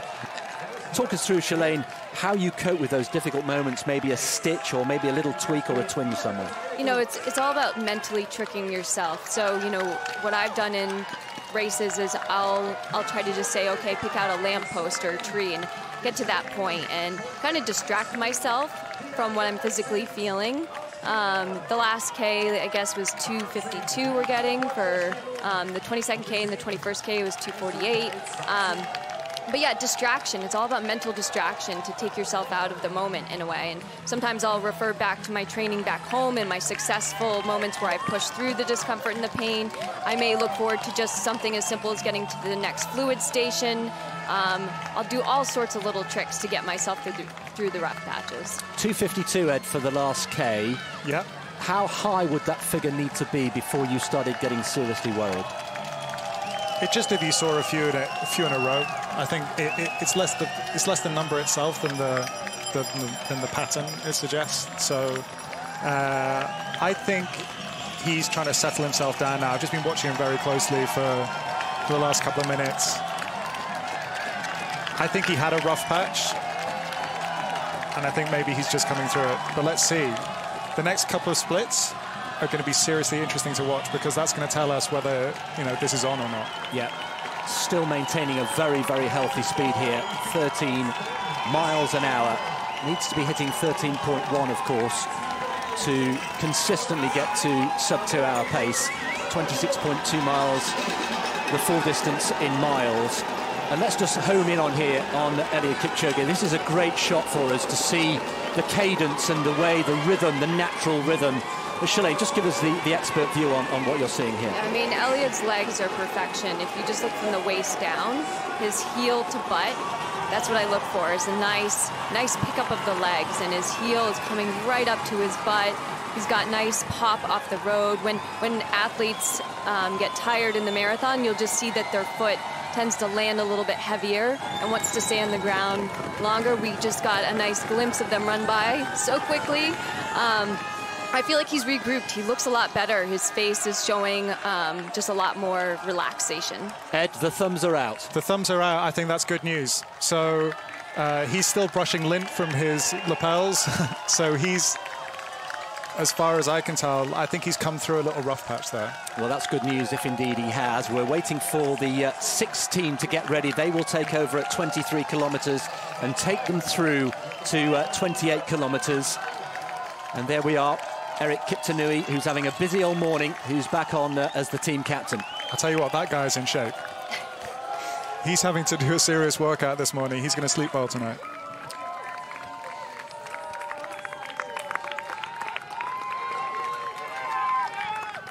Okay, so we've got Filip Ingebrigtsen, who's uh, back on for his second stint. Uh, Victor Chumo from uh, Kenya. And Paul Chelimo. uh, of the USA. Kenyan born, of course. Kenyan born. Uh, Ugandan, Ronald Musa- Musagala. Who's had a fantastic Yeah. season on the Diamond League circuit. The, the extremely industrious Eric Kiptanui as the captain here. Uh, and then we've got the Ethiopian uh, Selemon Barega and um, and Koech as the other wingman. So they, these guys are now, um, you know, they know their roles. Um, they're working pretty hard, especially the guys who are, you know, who are up for the second time. Um, but for most of these, most of these guys will be the, the last time out. So you know, you're not going to have to do. Uh, uh, I think there's only one guy that's doing three. Yeah. So so so if you've done two, you've done you've done a good stint. Yeah, well, this is the sixth of uh, nine teams. There are nine rotations, if you like. So, so far, so good out here on the course. Let's go down to uh, Radzi. Radzi's got one of the ardent supporters. We heard of, from him at the top of the programme. Radzi's with Chris Froome. Absolutely, ardent supporter is the word. Four times Tour de France champion, Olympic medalist as well. Chris, how much are you enjoying watching Eliud do this? It is phenomenal. It is, it is. I mean, it's fantastic. Um, I mean, just incredible to watch him. It looks like he's not even breathing. Just he's just gliding over over the over the road. It's just it's amazing to be here and to be part of this part of this atmosphere. And hopefully, we'll be witnessing his history being made today. And to that point, you're Kenyan born. What do you think it will mean to the people of Kenya for one of their own to make history? It, it would be incredible. I mean, obviously Kenya's quite well known already for, for its marathon runners, but to have someone do something as moment, momentous as this, monumental as this, sorry, um, will just be. It, it would be such a such a boost for, for all all the athletes uh, over there, and basically breaking barriers, showing that the, the impossible is, is doable, and um, especially coming from such uh, humble beginnings, I think it would be inspiring a lot of a lot of people around the world. Absolutely, and, and coming to yourself in terms of your performance, when you're say in the Tour de France, where is where does your mind go when it gets hard, when it hurts? Just like Eliud, I'm sure will be experiencing now.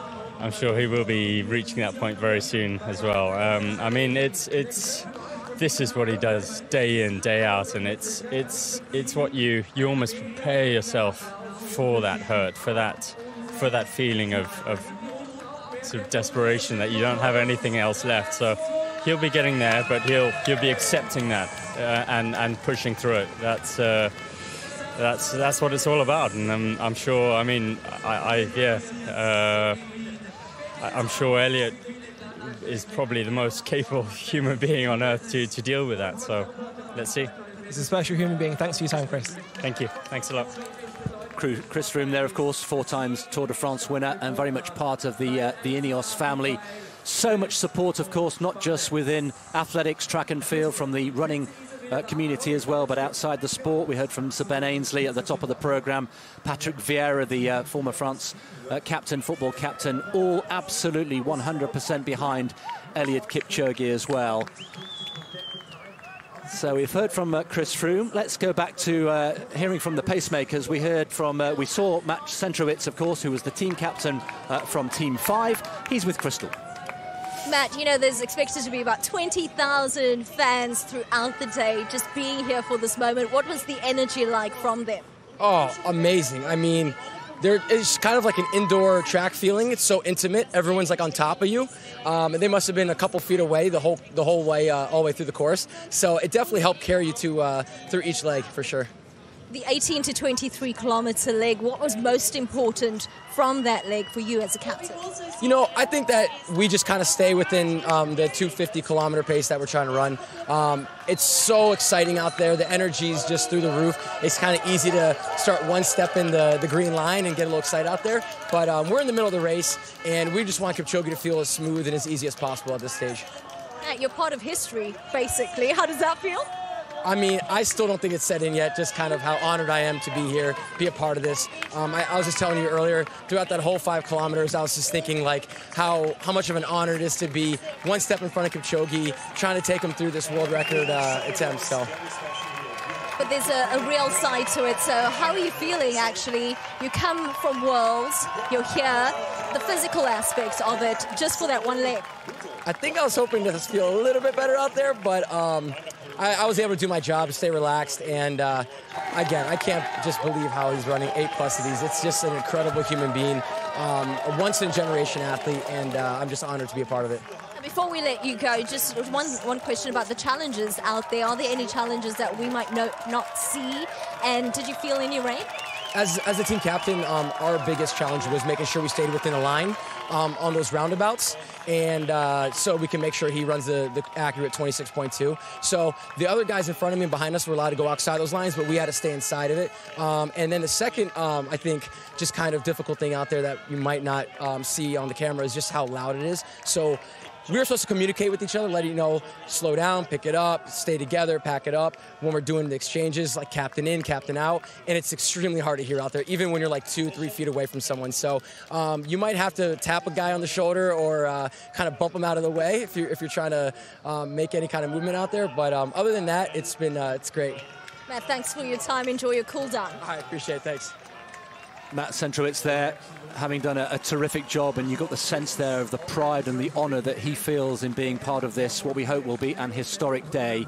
Lots of chatting. Just uh, left of picture there, just out of picture is uh, Valentijn Trouw, the athletes manager there, handing now more drinks and more gels to Eliud if he wants them, and he does take something on board there. Communication, uh, Shalane, so, so important uh, throughout this process. Yeah, I mean, he has such a tight knit team. He has worked with the same coach um, throughout his career. Patrick Sang has been by his side. He also has had the same massage therapist since 2002. Eliud is just a very loyal man, and he likes to build a team of people he can really trust around him. We've talked a lot today, Ed, about his physical prowess. We've talked about him as a person. There is no doubting his physical shape and, and, and what a naturally talented athlete he is. What about his mental state? Because as far as we know, he doesn't actually have a formal mental coach. No, he, uh, I mean, he's very much his own coach, but you see how strong he is when he gets really challenged in races. You saw it in the London Marathon this year. He was really, really challenged by some very strong Ethiopian athletes, and you could see his uh, strength of, of mind there in burning them off. Uh, you know, he does read a lot, so he likes, you know, Paulo Coelho. You know, he likes to read self-help books. You know, he's there are lots of kind of business style, you know, management books in the, in that camp. They do a lot of reading those guys when they're not watching Premiership football and so on. but the, you know, they, they really try to they really try to uh, improve themselves in that regard. Yeah, he actually has in his home uh, with his family a library full of books. And a few of the books that he's uh, recommended, I've actually read because I said if Eliud, if th- Eliud thinks it helps him, I'm, I'm going to read it too. And um, so yeah, he's he's a great um, source of inspiration for many people um, in the fact that he's he educates himself and he's always self-improving. In fact, Patrick Sang, his coach, says, I think we're at the point in my career where I actually learn more from Eliud than I teach him interesting here, just a, a, final briefing for the next team of pacemakers who will take over at uh, 28 kilometres. Uh, going through final instructions, there is Tony Barden, who is uh, part of the, uh, the London Marathon team. That is metronomic pacemaking, 250s all across the board. Yeah, that was beautiful. That's beautiful. Uh, so you want to talk about continuity as well. Um, Eliud's mum taught Patrick Sang at primary school. So this, you know, this line continues. You know, they're from the same village, they're from the same little subset, the Nandi called the Talai. You know, he has that real connection to his home through his sport. And we should say as well that Eliud had not just a, a very basic and very humble start in life, he lost his father when he was very, very young indeed. And effectively was, was brought up and raised by his mum as a, as a single parent, you know, the youngest of four children it was tough. You know, here's a guy who, like so many East Africans we've heard over the years, who used to run to school a couple of miles uh, in the morning, back for lunch, back in the afternoon, back again, used to cycle to the local market, the nearest town, to take the milk from the farm to get it sold. this was a, a, hard start in life. Yeah, I don't think he would actually make too much of that um, because of the type of person that he is. Um, but yeah, these guys, uh, you know, who, who lead the world in distance running from Kenya, a lot of them come from subsistence farming backgrounds, and a lot of them have a very rough start in life. And, you know, I think uh, Haile once said to me, you think you can be a good runner from a, a good family? You know, he, he felt like that kind of background fertilized your talent. You know, rather than being a, a hindrance. He felt like it was important for a runner to somehow, you know, to have some challenges to overcome in their early life. Yeah, I believe it's there's a callousing, and you know, probably because of his upbringing, he looks at running as a joy. It doesn't seem like a chore to him. He's had and experienced harder things in life, so running 26.2 miles is, is not so challenging when you've been through other things. And his mantra, very simply, hard work, humility, and discipline. And the, the routine that we have tried to bring across to you that Ed was describing is very much a, a monastic lifestyle, isn't it, Ed? It's very much run, eat, sleep, and repeat and repeat again and repeat again. Yeah, he just keeps on doing the same thing. There's no magic. There really is no like silver bullet to getting as fast and as fit.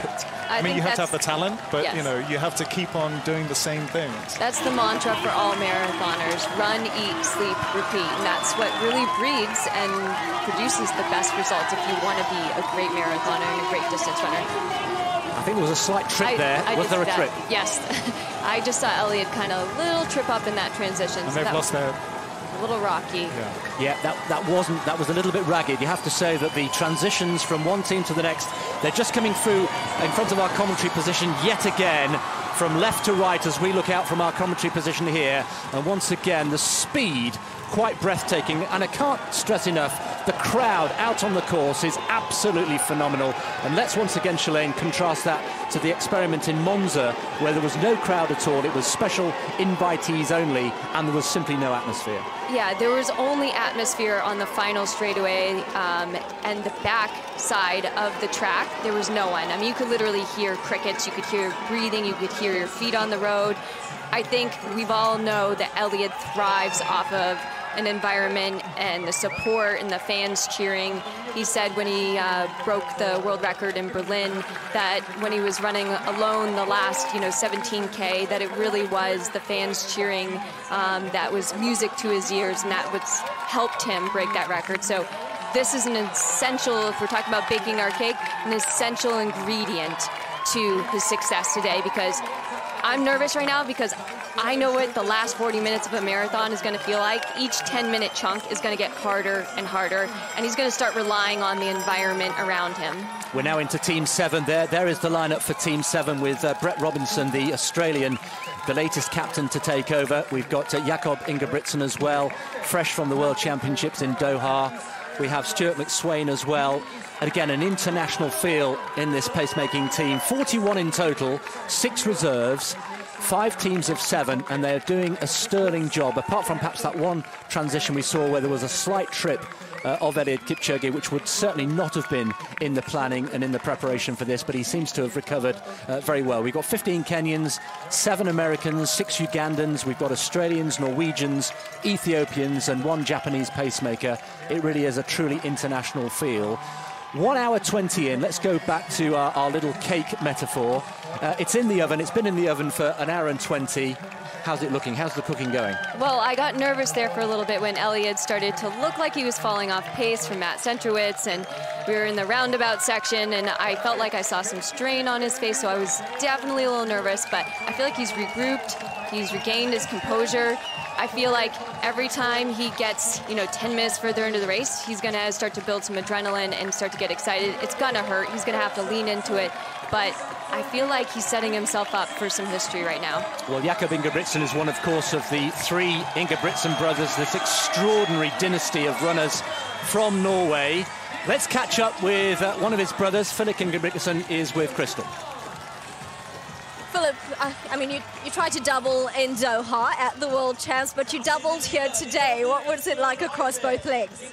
Uh, it was a bit easier to, to do the double here, but uh, it was really fun. Uh, we've been practicing the last couple of days and uh, tried to give uh, some messages and try to talk to each other during uh, uh, during the race, but uh, the crowd is so loud that we couldn't hear anything. So you just had to trust your teammates and uh, and uh, help Kipchoge as uh, as good as we could. And uh, I think it was smooth. So it was uh, it was it was fun to experience the pace and and uh, get a feeling of uh, what goes into breaking two two hour marathon. It's it's an incredible feat if you can do it. So it's fast. Let's talk about the pace. I mean, fairly even splits. What of the consistency when it comes to Eliud? Yeah, I think that's the that's the way to go here. Uh, to do uh, to go out hard, but uh, but to uh, be able to maintain the pace. And uh, if he's strong uh, in the finish, he can go even faster. But uh, it's it's a it's a thin line between uh, uh, an incredible race and and uh, and uh, like hitting the wall. So he, he needs to stay right at the sweet spot, and uh, and uh, that's the thing he was he's been practicing for many years. He's an experienced runner, and uh, and uh, hopefully he can uh, pull it together today. Filip, how will this impact you as an athlete in your own career? I was thinking about it while running. Uh, it's uh, the main uh, motivation behind like my running is, is to see how, how fast I can be for uh, different um disciplines, like di- different um events. So uh, right now it's the 1500, and uh, maybe in a couple of years. Uh, my main focus will be the 5K, and who knows? In 15 years, uh, it will be the marathon. So it's uh, it's cool to try road races and, and get a feeling of uh, like the audience, like the crowd is really close. So that's that's really fun. Well, now your hard work is done. You can sit back and relax like the rest of us and wait for that moment. Yeah, yeah, yeah. It's uh, it's gonna be exciting, and hopefully we can do it. Like after Doha, the um, my season was done, so this is my holiday, and I'm here uh, running. So I was like running a lot. Good life choices. Thanks, Filip. Thanks. Filip Ingebrigtsen there, sounding and looking good as uh, Crystal was saying his job is done. Now then, we saw just a few minutes ago the last splits for the last few K, 250s all the way round. And Shalane, you've been looking at the positioning on the on the road, on the Hauptallee of Eliud Kipchoge, and signs that actually he's feeling much better. Yeah, so as an athlete, when I'm getting antsy and I want to run faster, I will run up on the edge and the shoulder of my pacer. And it looks like he was running up on the edge of uh, Brett Robinson there, um, not running directly drafting behind him. Instead, he's on the shoulder, which to me means he's kind of like pushing. And that last K is actually showcasing it is a little faster. They ran a 248 last K, so two seconds faster than projected.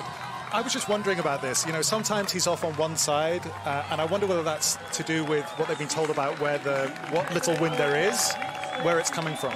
So now we see what's kind of 12 seconds inside uh, target time. And that's the highest it's been in the race so far. Yeah, projected one 159.47. But isn't it amazing how much better he looks now than he did 15 minutes ago? We can only speculate. We don't know how he was feeling. If he did go through a, a bit of a moment, Shalane, what might that have been? You know, it could be something as simple as just his drink not settling well in his stomach. And, um, you know, I've had circumstances in which um, the fluids are kind of coming up, they're not settling well in the stomach, and it could be something as simple as that. Um, it seemed really early on to see him kind of straining, so I'm guessing it was maybe a fluid issue. This is the quickest they've been running at any stage during the whole challenge 13.3 miles an hour. And this side on shot, let's just go to this again because we see in all its glory, Shalane, the, the cadence and the natural running style of Eliud Kipchoge. He's he's just like the world, but he does. He stands out to me. He just has the absolutely efficient, perfect form for a marathoner. You see the, the top half of his body, it's like a rifle target. You know, he, he stays so still and his legs are doing this work and then, you know, And his core is so strong and straight. All momentum. If you see, they're running ahead of the green line. It seems so. It seems like they're um, they're feeling good. This is a, a critical moment coming up. They're approaching the 30 kilometre mark, and uh, the time we're looking out for here is 125.18. They're comfortably inside that at the moment. But 125.18, so in about 16 seconds' time, would be sub two uh, hour marathon pace. And in Monza, he went through in 125.20. More fans, it's the same guy again. He's having his moment in the sun there, in the grey on the left of picture. He wants to be a part of history today, and who can blame him? We all do. We're hoping that Eliud Kipchoge will be making history today. 30 kilometres have been completed, and let's just go back to Monza, just as a little guide, because in Monza he was two sec- seconds outside of sub two hour marathon pace. yeah, he's he's doing fantastically well. I, I saw a little grimace there, so, uh, you know, obviously it's hurting. It would hurt doing this. Be expected. 12k to go then. This is where the critical stage of the race starts. If we were in normal marathon conditions and this was a race with lots of other competitors, they often say that the racing starts at 30 kilometers. Normally, somebody takes the handbrake off at 30k. Yeah, that is uh, traditionally when I've been in major championships. It's 30k, gloves are thrown down to the road, hats are off. Now, it, now it's the real fighting begins, and you know Eliud doesn't have um, competitors to, to be fighting against, um, but his his race is against the clock today in a race towards history. He has to be thinking right now, and I'm sure this is a version of what he's thinking. If not now, when? Like, this is my last chance. I've run, I've run 30 kilometers. You know, 12 to go. Like, what other opportunities are you looking for? You know, this is my shot. So I think he has to somehow get himself in that uh, frame of mind, which I'm sure he does. Have both of you, in, in your own mind, got no doubt that if he's not successful today, God forbid, that he wouldn't come back and have another go? I think this is it. I, I believe this is it. I think he's putting everything he has into this moment, and I think it, that kind of pressure actually will bode well because he's going to, like you said, today's the day. I'm going to do it. There's no other opportunity. There's no second chances. I've done all this work. Everyone's done all this work. Now it's time to execute. So why not now? Why not me today? And if he does do it, that's another thing ticked off. He will go into history. It will be his Neil Armstrong moment, and we hope that in the next, what, just over half an hour, we can bring him home to do exactly that. Where then from there? D does Tokyo feature for next year? For Absolutely. So Abebe Bikila, who was the first black African to win a gold medal, uh, won the marathon in 1960 and in 1964, doubled. Eliud wants to do that. So he won in uh, Rio. He wants to win in Tokyo. You know, so if he had the, it, let's just say he does this, and he does the, you know, the Olympic double, that would really make him unassailable, I think. We've just detected perhaps the, the slightest smile stroke grimace on the face of Eliud Kipchoge. He's just uh, behind Jakob Ingebrigtsen at the moment, and we were mentioning earlier on in commentary that when the smile appears, Shalane, that normally suggests that he's hurting. Yeah, that's the classic Eliud when he um, is leaning into that hurt. He uses it as a way to manage the pain and to distract himself. But yep, there we go. I just saw a smile. Um, if I were a competitor and I saw someone smiling, um, I would be very intimidated. Ed, though, you think that part of the, the, the grimace and the smile is actually to try and counterintuitively relax himself, relax the shoulders. I think he's talked about it. He talked about it after Monza. He said, "I've, you know, I smile when it's hurting," and that's, you know, it's a, it's something that if you try, it sounds goofy when, you, when you try it when you're running, but I think it actually does work. Like if you make I mean, yourself smile. I believe Eliud. He's he, he's the world record holder. If he says it works, um, you're going to see a lot more people out in uh, road races um, across the world smiling. Maybe. Do you know what? I just hope that, uh, yeah, I hope that they, he can he can maintain that that rhythm because he does look very good still. Yeah, physically everything else is clicking. Like I said, his feet are popping off the ground. They're like little uh, sewing needle, up and down, up and down, up and down. You see how he's off to one side again a little bit here, and you wonder. Yeah, sometimes, um, you know, another tactic that I've also seen is when athletes are hurting, they, they tend to shift around the road. It's like they're uncomfortable and they're trying to find a comfortable spot. Um, sometimes if there's, you know, the athlete in front of you, the back kick is maybe just coming up a little too close, so he just wants to run off the, the side. Approaching one hour 30, one and a half hours about to click round on the clock. We are into the final quarter of this race. We have just under 30 minutes to try and get Eliud Kipchoge into the history books here in Vienna on this extraordinary Saturday morning. Wow. Take us into the mind, Ed, of, of what he must be thinking now. I have absolutely no idea.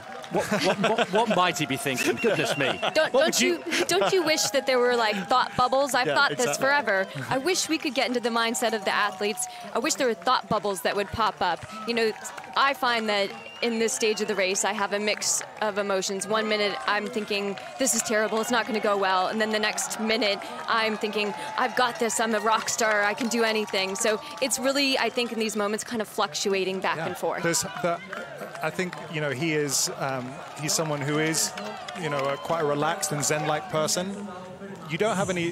He's putting himself through something really, really extraordinary here, and he will be emotional.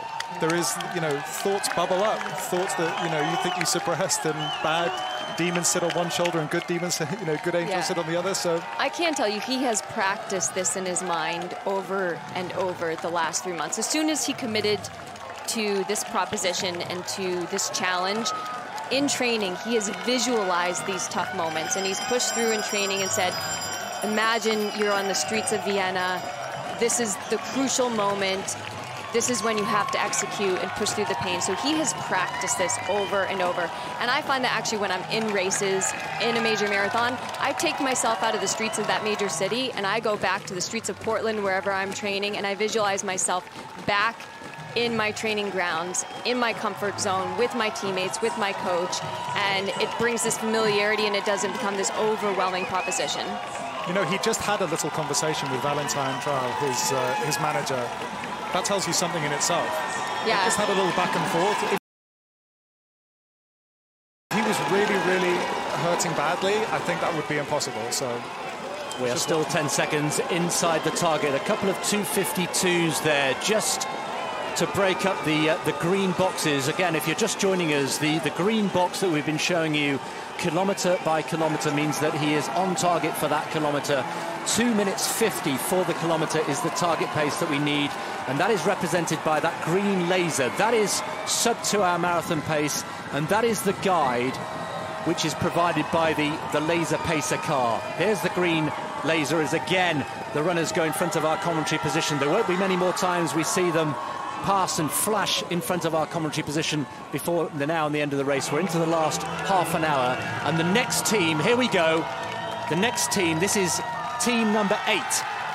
Eric Kiptanui is back in action once again and we will see Brett Robinson peel away and this is the penultimate team, Shalane, who have got duties between 33 and 38 kilometres. You know, th- this is a team that's going to really need to uh, to rally Eliud if he's hurting. I think there's going to be some communicating, them rallying him, talking to him, if he can hear it through the crowd. But you know, these pacemakers are so intent on helping him and doing whatever they can. Yeah, you see, he actually gets a little lift when he gets a new team. So you sometimes see just a couple of seconds come off the split when he gets a new team. And that's all. So there's a- Choge is uh, one of that team, one of his lifelong friends, one of his closest friends.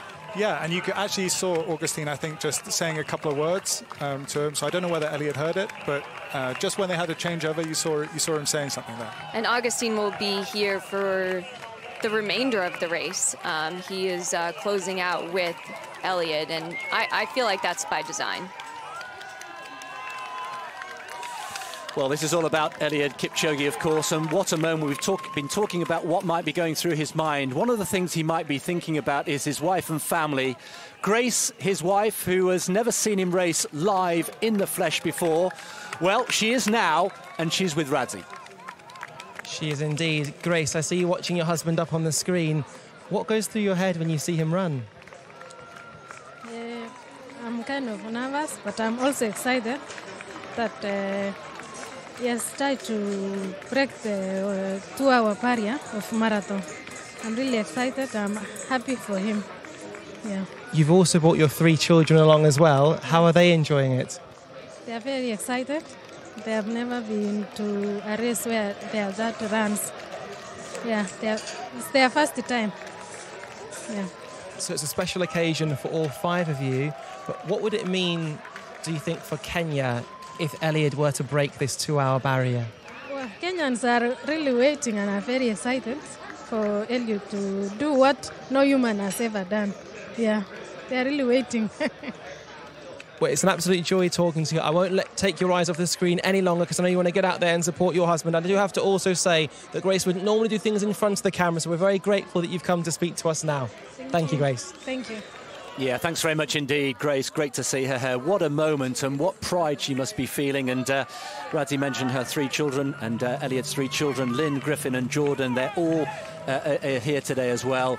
The ignition keys of his life, as Eliud refers to them. It's a lovely image and uh, one of several memorable lines. We talked about the self-help books that he, he likes to, uh, to read. He devours them. And actually, in all seriousness, it would be very easy for some of these lines to sound rather cheesy and rather manufactured. But when they come out of the mouth of Eliud Kipchoge, they sound sincere, and he always measures the importance of each word very carefully. Yeah, he is very selective in his words, and as a way, in a way, it's like he prophetic the way he delivers them, and he doesn't waste any words. And I think everyone really appreciates what comes out of his mouth because it holds such importance every time he talks. We are into the penultimate team of pacemakers. One man who's done a sterling job today, Stanley Kebenei from Kenya. He was part of Team 7, and he's with Crystal. Stanley, so great to grab you right here at a crucial part in this race. Can you just give us a sense of, before it all started, what was the camaraderie like? What was it like in the tent? It was really emotional. Uh, we look at Eliud's eyes on the tent on the screen, and you look at the man, he's very straightforward. You know, he's just, in his mind, you can tell that he's saying, yeah, I'm going to make history today. And he's happy that, you know, all of these people are all over here to witness the history and the rest of the world goosebump moment, it definitely sounds like. But Stanley, from a, an African perspective and what this means for the continent of Africa if it is attained. This means a lot, not only the continent of Africa, but the world at large. Uh, Eliud will be the first human to run uh, under two hours, and this is so inspiring, not only to the runners all over the world, but to everybody that no human is limited. You can go to your goals as much as you have that energy and that strong mind that you want to do whatever you want to do. So it's not about running, it's about inspiring the world and everybody else in the world that everything is possible and no, nothing is limited for you. You're sounding confident. I sound confident and I, I feel confident that this will happen today. I believe in Eliud 100%. I believe in the team that we have. I believe in uh, the sponsor that, you know, sponsor these Ineos. We, we really believe in what's happening over here because we've been here for a long time just getting ready for this what of the tradition of distance running in Africa, how it gave you your base and gives Eliud his? Uh, in Africa, running started to be something that's not only sport, but everything in our lives. Um, we, do, we do it for sport, but again, we do it for living.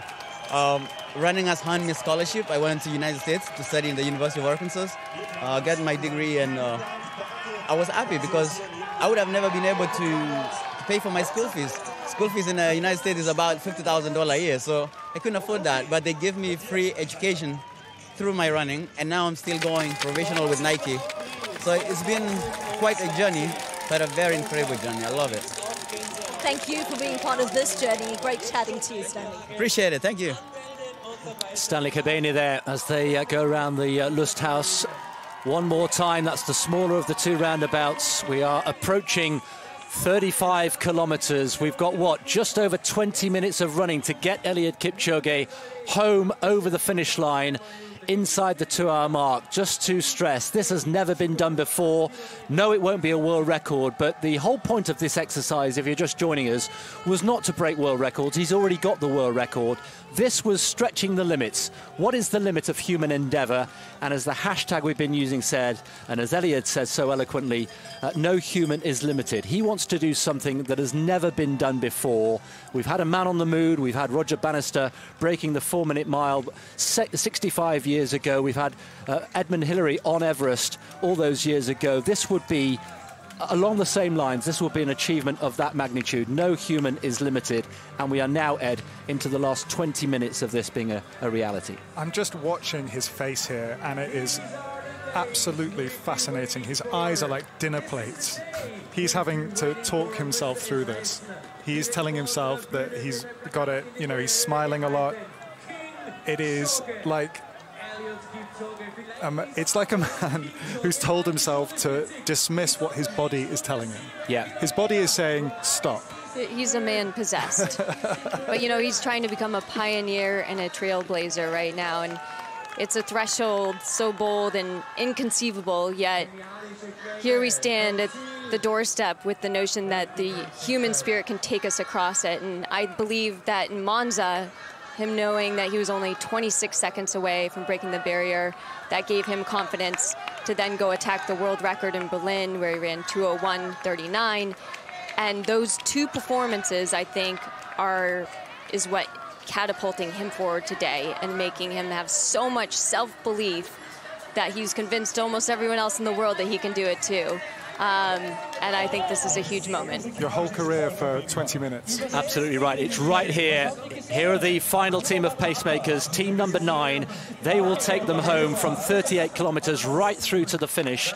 And the captain, of course, he was the captain in the first team. It's Bernard Lagat, and how fitting that uh, the 44-year-old, the oldest pacemaker in the team, the most experienced and a dear, dear friend of Eliud, should be the captain on the final leg. Bernard and Eliud have actually raced each other a number of times, and um, the experience the two of them have. They may not be the youngest um, athletes out on the road, but their experience is what it makes the difference. Wow, I think we just need to take a, a pause, don't we, and just breathe. I've just edged myself up closer on my seat.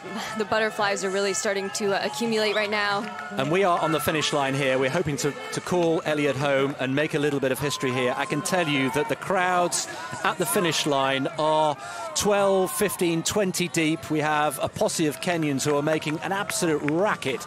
We've got Kenyan flags all over the place the atmosphere is absolutely electric and, and, yet again one of the contrasts between the the experience in Monza a couple of years ago and I think you make the point very well uh, Shalane that mentally describing that he knows in his heart of hearts that he can do this.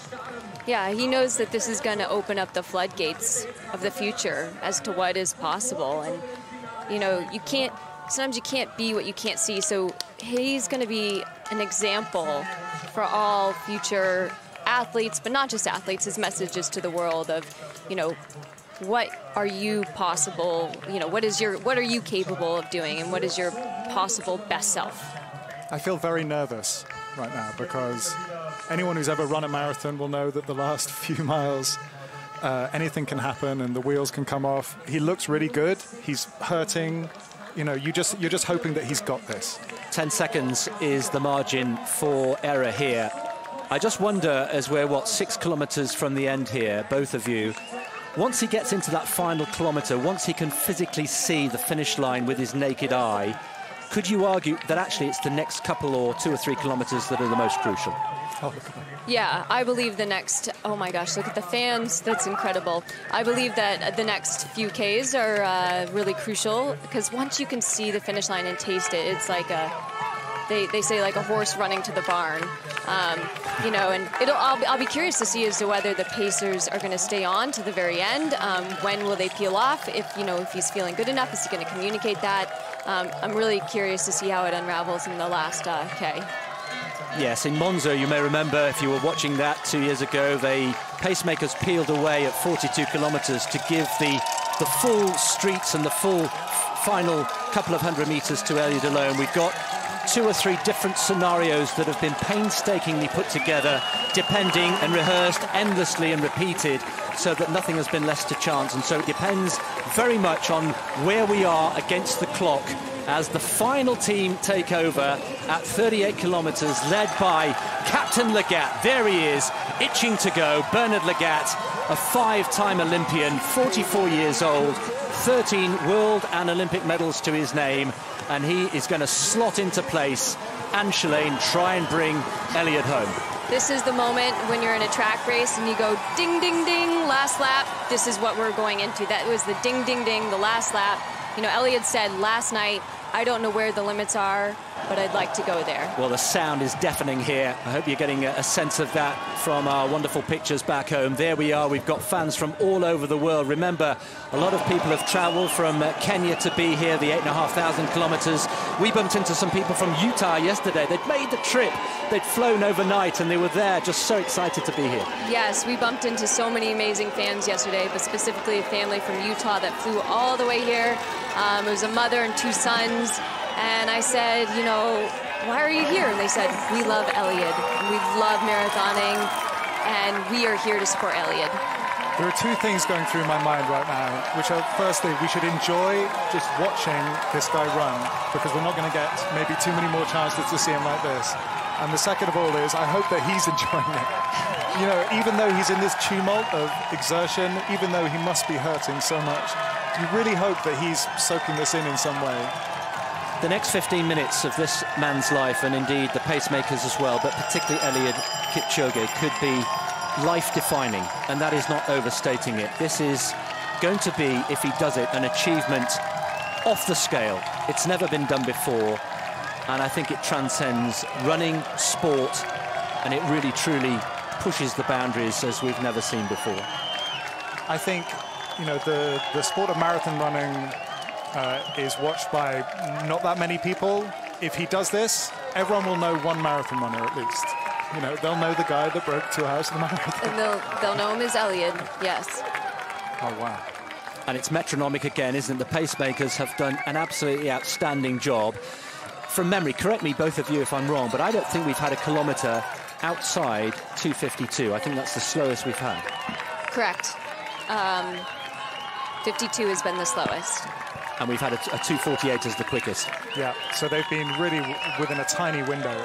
I mean, we've been. That's incredible. If you Yeah. really think about it, that is incredible pacing. Yeah, and the position on the on the road as well. Just to remind you, they have to stay within those dotted orange lines. Up. Certainly, Eliud does as well. We've got the laser, the green laser, which is giving them the exact pace, and they've been bang on the money. And to do all of that whilst running in excess of 13 miles an hour for as long as they've been running is truly sensational.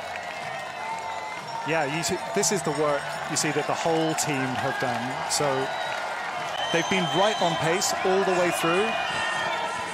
But they've, but they've, you know, they've had this system where they, which they've adhered to, which is this, you know, the lasers and the formation, and it's it's worked a treat. Wherever you're watching in the world, whatever your time zone, whether it's morning, afternoon, or evening, or the middle of the night, we hope you're enjoying. We're on the verge of history here, folks. We cannot overstate this. And Valentijn Trouw, the athlete manager, is there still on his bicycle. We've got And Hugh smiling. Jones just and You smiling him as smiling. well. Yes. Hugh Jones there, who's a former London Marathon winner and uh, a course measurer for marathons all over the world. He's also on his bicycle there enjoying the ride. I think people think this is uh, this is going to happen now. You can see from the support team, there's still a little bit of nervousness on Valentijn's face, but you can see from the, the support team that they think this is going to happen. Well, let's hear from one of the fantastic pacemakers who've done their job. Patrick Tiernan was part of the, the last team that were out there, and he's been speaking to Crystal. Patrick, we are on the threshold. Yeah, I mean, it's unreal. I mean, he's on pace and he's killing it, so we're all rooting for him here. What does the no human is limited motto of this whole challenge mean to you? I mean, I mean, he's a he's a human who lives by that motto. I mean, two years, I mean, five years ago, the sub two-hour marathon wasn't even considered possible, um, and now you've got a guy who's out here and he's cruising around, looking like he's not even breathing doing it. So, you know, the motto is it's perfectly suited for this event, we know it's something that we all, all 40 of us want to try and strive for once we once we get out of here. And he's going to do it? Yeah, yeah, we'll, we'll, we'll knock on wood, but yeah, no, he's looking great. I mean, we're he's cruising through it, so yeah. Thanks for chatting to us, Patrick. Let's keep our eyes set.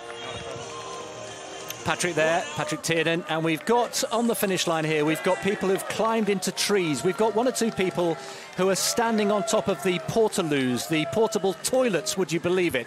Everybody is craning their necks. Everybody wants the best possible view here on the Hauptallee. We're standing by for major sporting history here. And Ed, we're into the last 10 minutes. We've got 10 minutes to bring him home. Well, I'm starting to feel like those uh, men in bowler hats who watch Roger Bannister. You know, they had that privilege of watching that great moment at Iffley Road, and if everything goes well for the next 10 minutes, and I'm touching some wood here, uh, I think this is. This looks now like it's going to happen. You know, you'd have to drop. You'd have to drop quite a lot of pace over these few Ks to to lose it from here. It can happen, but uh, you can see there's more relaxation on the faces of the people around Eliud, and you can see on his face he's still looking pretty relaxed. I mean, I'm sure he's hurting, but he looks quite good. Yeah, I'm sure he's realizing he has nine minutes of running. And, you know, you tell yourself, I can do anything for nine minutes. Um, right in front of us, we are watching as all the Pacers gather on the other side of the road to cheer on Eliud. And I believe there'll be uh, hopefully something to celebrate here soon. Julien Wanders has, uh, you know, sensibly put on a huge puffer jacket because he's freezing cold. They're all jumping around. They're taking selfies. Um, the whole team are now assembling because they think it's going to happen. Well, I don't know about you guys, but my heart, I can feel it pounding in my shirt this morning. And we are just sitting here watching and in anticipation, licking our lips here. 150 on the clock. And we have, what, exactly nine minutes to bring him home. What an opportunity here. And these final pacemakers with Bernard Lagat, I think it's so, so fitting that Bernard Lagat is the team captain for this final leg. Yeah, from the same area where Eliud grew up, friends forever. Um, you know, was a part of the last attempt. You know, the, the camaraderie on that last attempt was massive. Uh, even though you know he just missed the two hours, um, I think it's I think it's a, a gorgeous thing that Bernard Lagat's in this final group.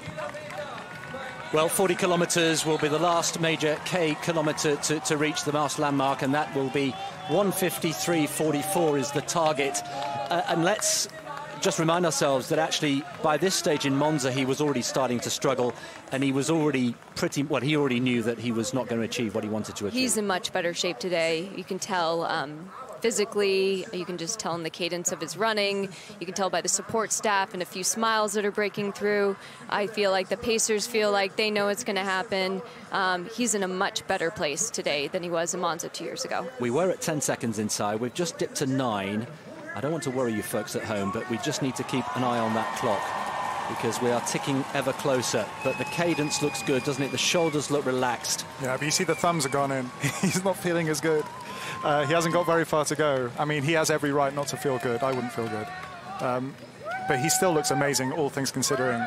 And you know, in Monza, when it started to drift, he couldn't pull it back, and who could? You know, once the once those splits start to drift, you, you know, you're finished. it's almost like you have a rope tied to these pacers, and once that rope is broken, it is so hard to get back on the pack. And um, the fact is, he's not allowing the rope to swing too too far off of his pacer. So the rope is not broken. He's attached to this pack, and he's going to just enjoy the ride to the finish. Communication still taking place between Valentijn on the left of picture there on the bicycle. He's giving instructions out. We just saw Eliud just lift his shirt momentarily just to uh, to wipe his nose. He needs to make sure everything is absolutely on point.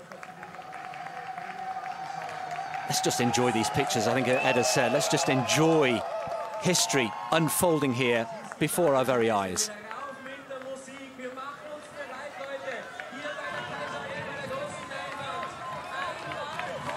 Well, we've had seven successive 250s, 2 minutes 50 for a kilometre. And anybody who's thinking about going out for their Saturday run, Saturday morning or Saturday afternoon, maybe even doing a park run of five kilometres, well, just watch and learn. This is the master at work here.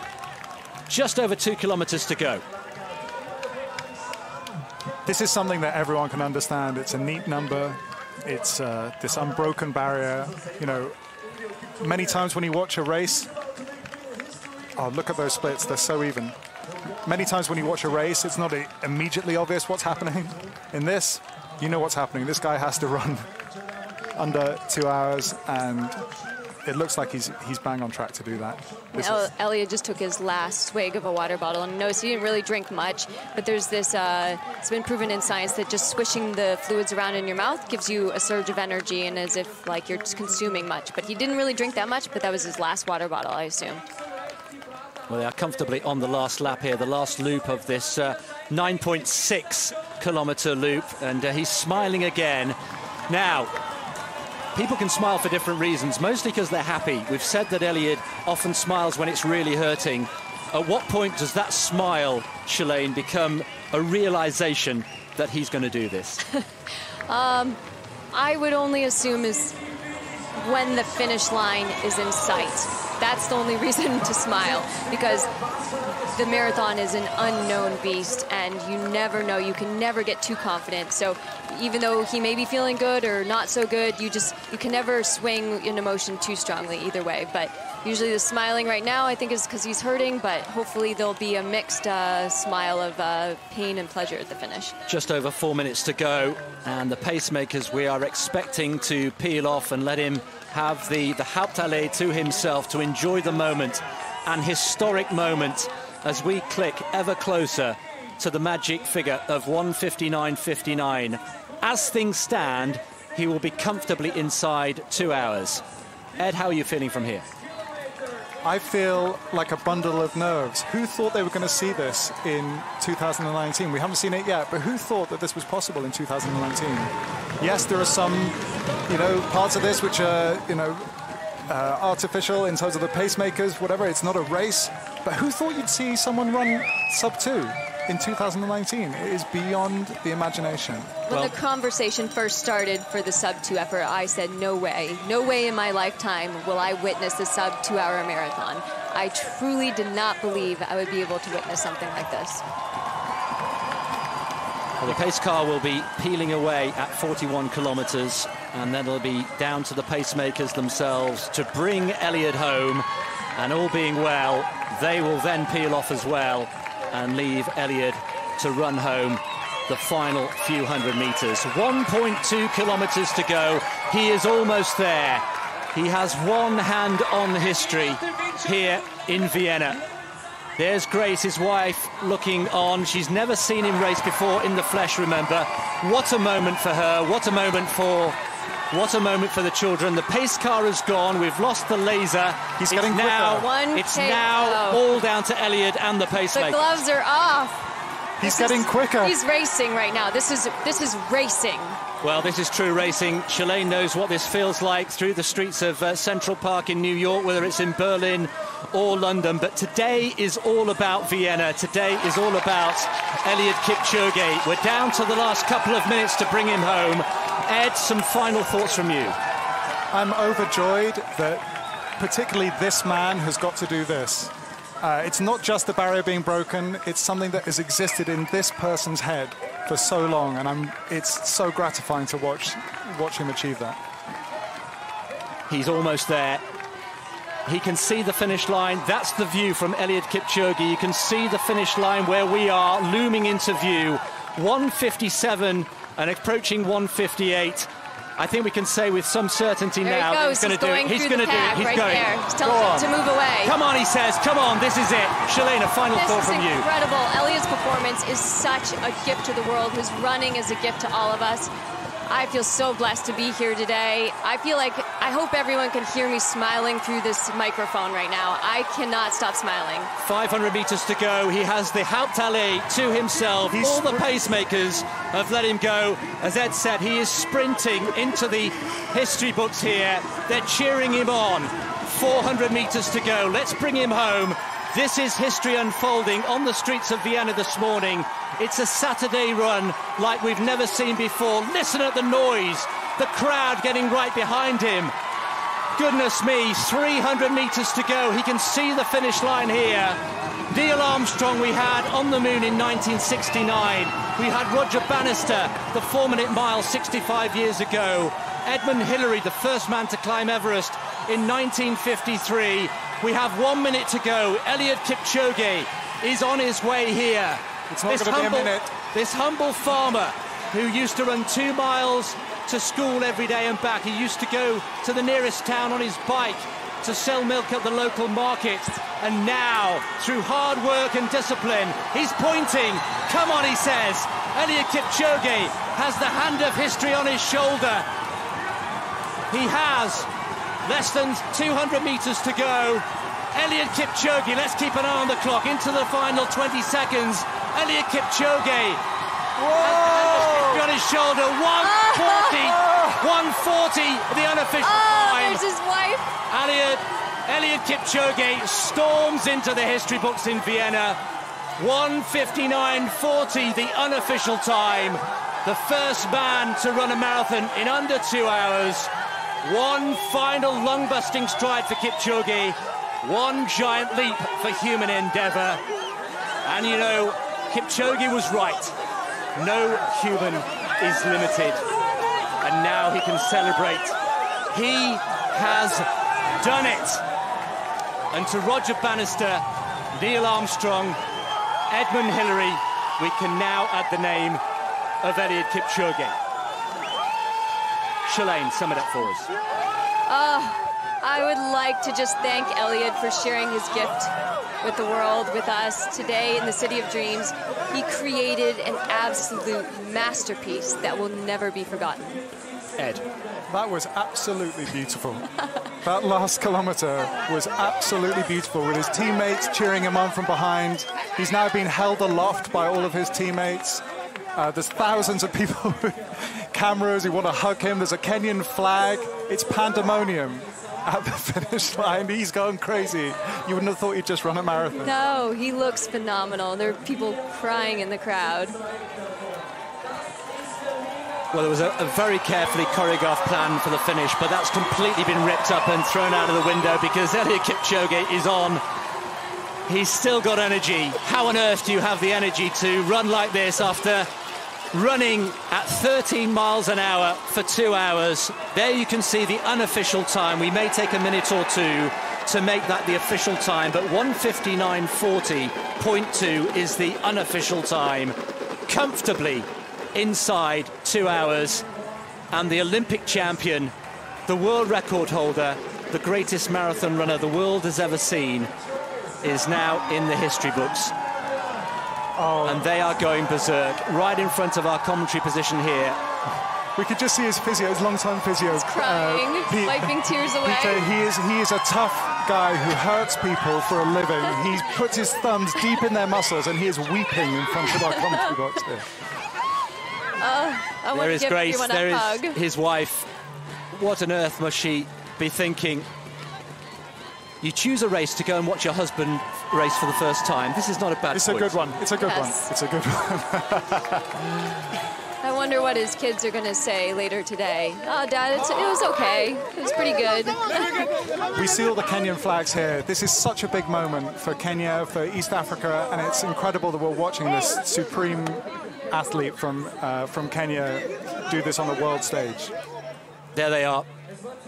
His children watching on with great pride. And I wonder what Eliud is thinking as well, because anybody who's a parent knows that it makes a difference.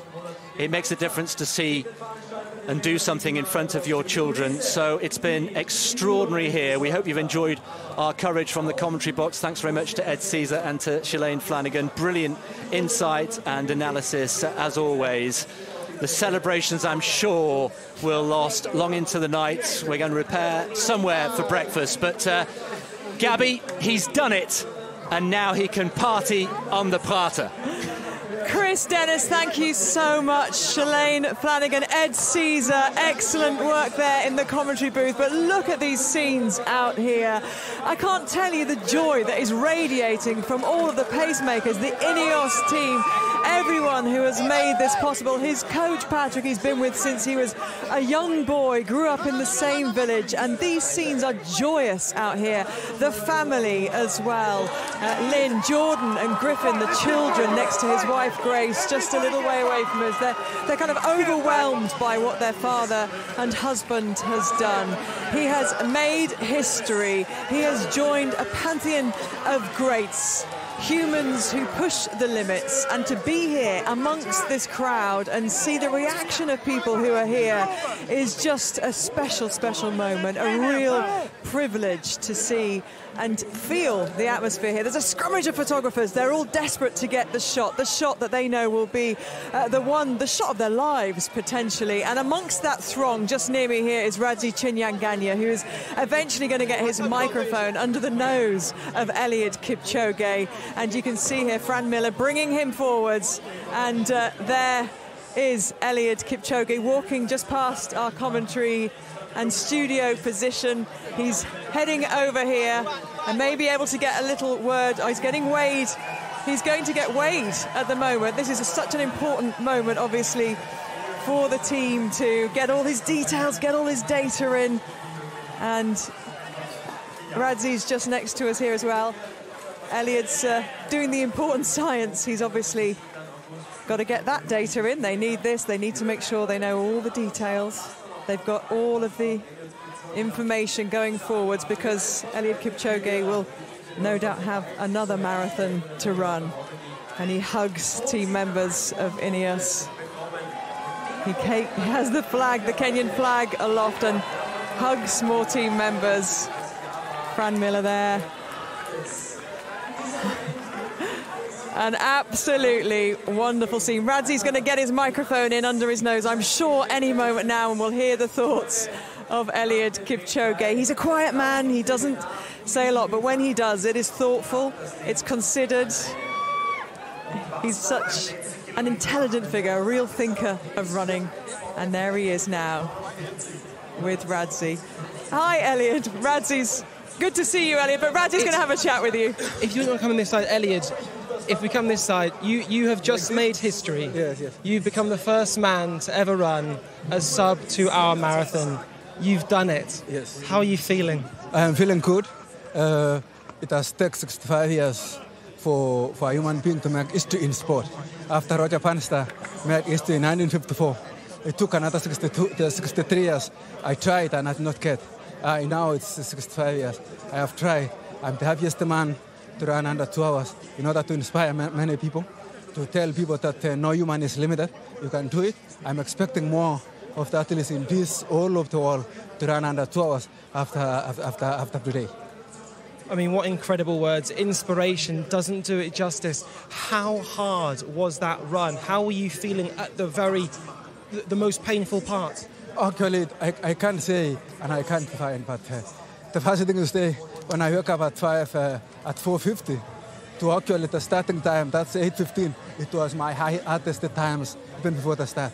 The time, actually it was four hours, but it, it, it was like 30 minutes. So it was the hardest times. But all in all, the race is actually, for, the first kilometer is really hard the way it is. It needs actually the perseverance, it needs dedication, it needs uh, the, the, the hard run, yes.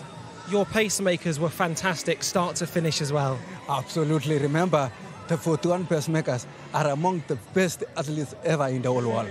From the Matthew Centro, it's the one of the world cha- Olympic champion for 1500, to all the marathoners and everybody, they are the best. I, I can say, uh, I want to say thank you for them. I want to, to appreciate them for accepting to do the job. And, and, and together, it, it is not, uh, I am not telling you, we made this together in this one. Eliud, to see the reaction that you had, especially from Kenya, with you growing up with a single parent mother, you're a proud member of the Talai clan. What does this mean to Kenya, especially? Uh, it means a lot to Kenya. Uh, I wanted to run under two hours in order to tell Kenyans that everybody can step out of his store and actually think uh, positively to what's required by, by a human being to do, and all of them can earn a good life and together you can make a, this wall a running wall. And after run, making a running wall to uh, this wall, you can make this wall a beautiful wall and a peaceful wall. Uh, it's a genuine joy talking to you. It'd be remiss of me not to mention your wife and your three wonderful children as well, though. Actually, my wife and my two children are giving me more support. I'm happy for them to come and witness the history. They will be among those who made the history. I'm happy for them. And just finally, Eliud, what image would you like us to take away from this? I'm, I, I, you genuinely made me cry watching you cross the finish line. What would you like us to remember about this? Uh, actually, I want to say uh, the positivity of sport. Actually, I want to make the sport uh, a clean sport. I want to make sport an interesting sport whereby all the human beings can run, can wake up very early in the morning, to run. And together, when we run this world, we can make this world a beautiful world. We can kick away most of the diseases by just running. It, it, a, it will be a beautiful world. It's a privilege talking to you. It was a privilege watching you run. And on behalf of every athletics fan around the world, yes. thank you very much. Thank you too. Thank you very much. Thank you to the whole world. Thank you to those who watched me through Facebook, those who watched me through YouTube, those who watched uh, me live. And I can say, actually, I am appreciating your time that uh, you sit behind your TVs, behind your mobile phones, behind everything, even following uh, through Twitter and everything, that uh, you have made history together, and uh, together you can make this world a beautiful world. Thank you very much. Eliud, you were great before. You are now an icon. Congratulations. Thank you very much. Thank you. Immortal, I think. And when he says takes the time to watch me, well, you've made it a little bit less than it ever was, Eliud Kipchoge. And I think you can add to Radzi's words, it's not just athletics fans, I think it's human beings who are in awe and enamoured and impressed by what we just saw. But there's one man that knows him perhaps better.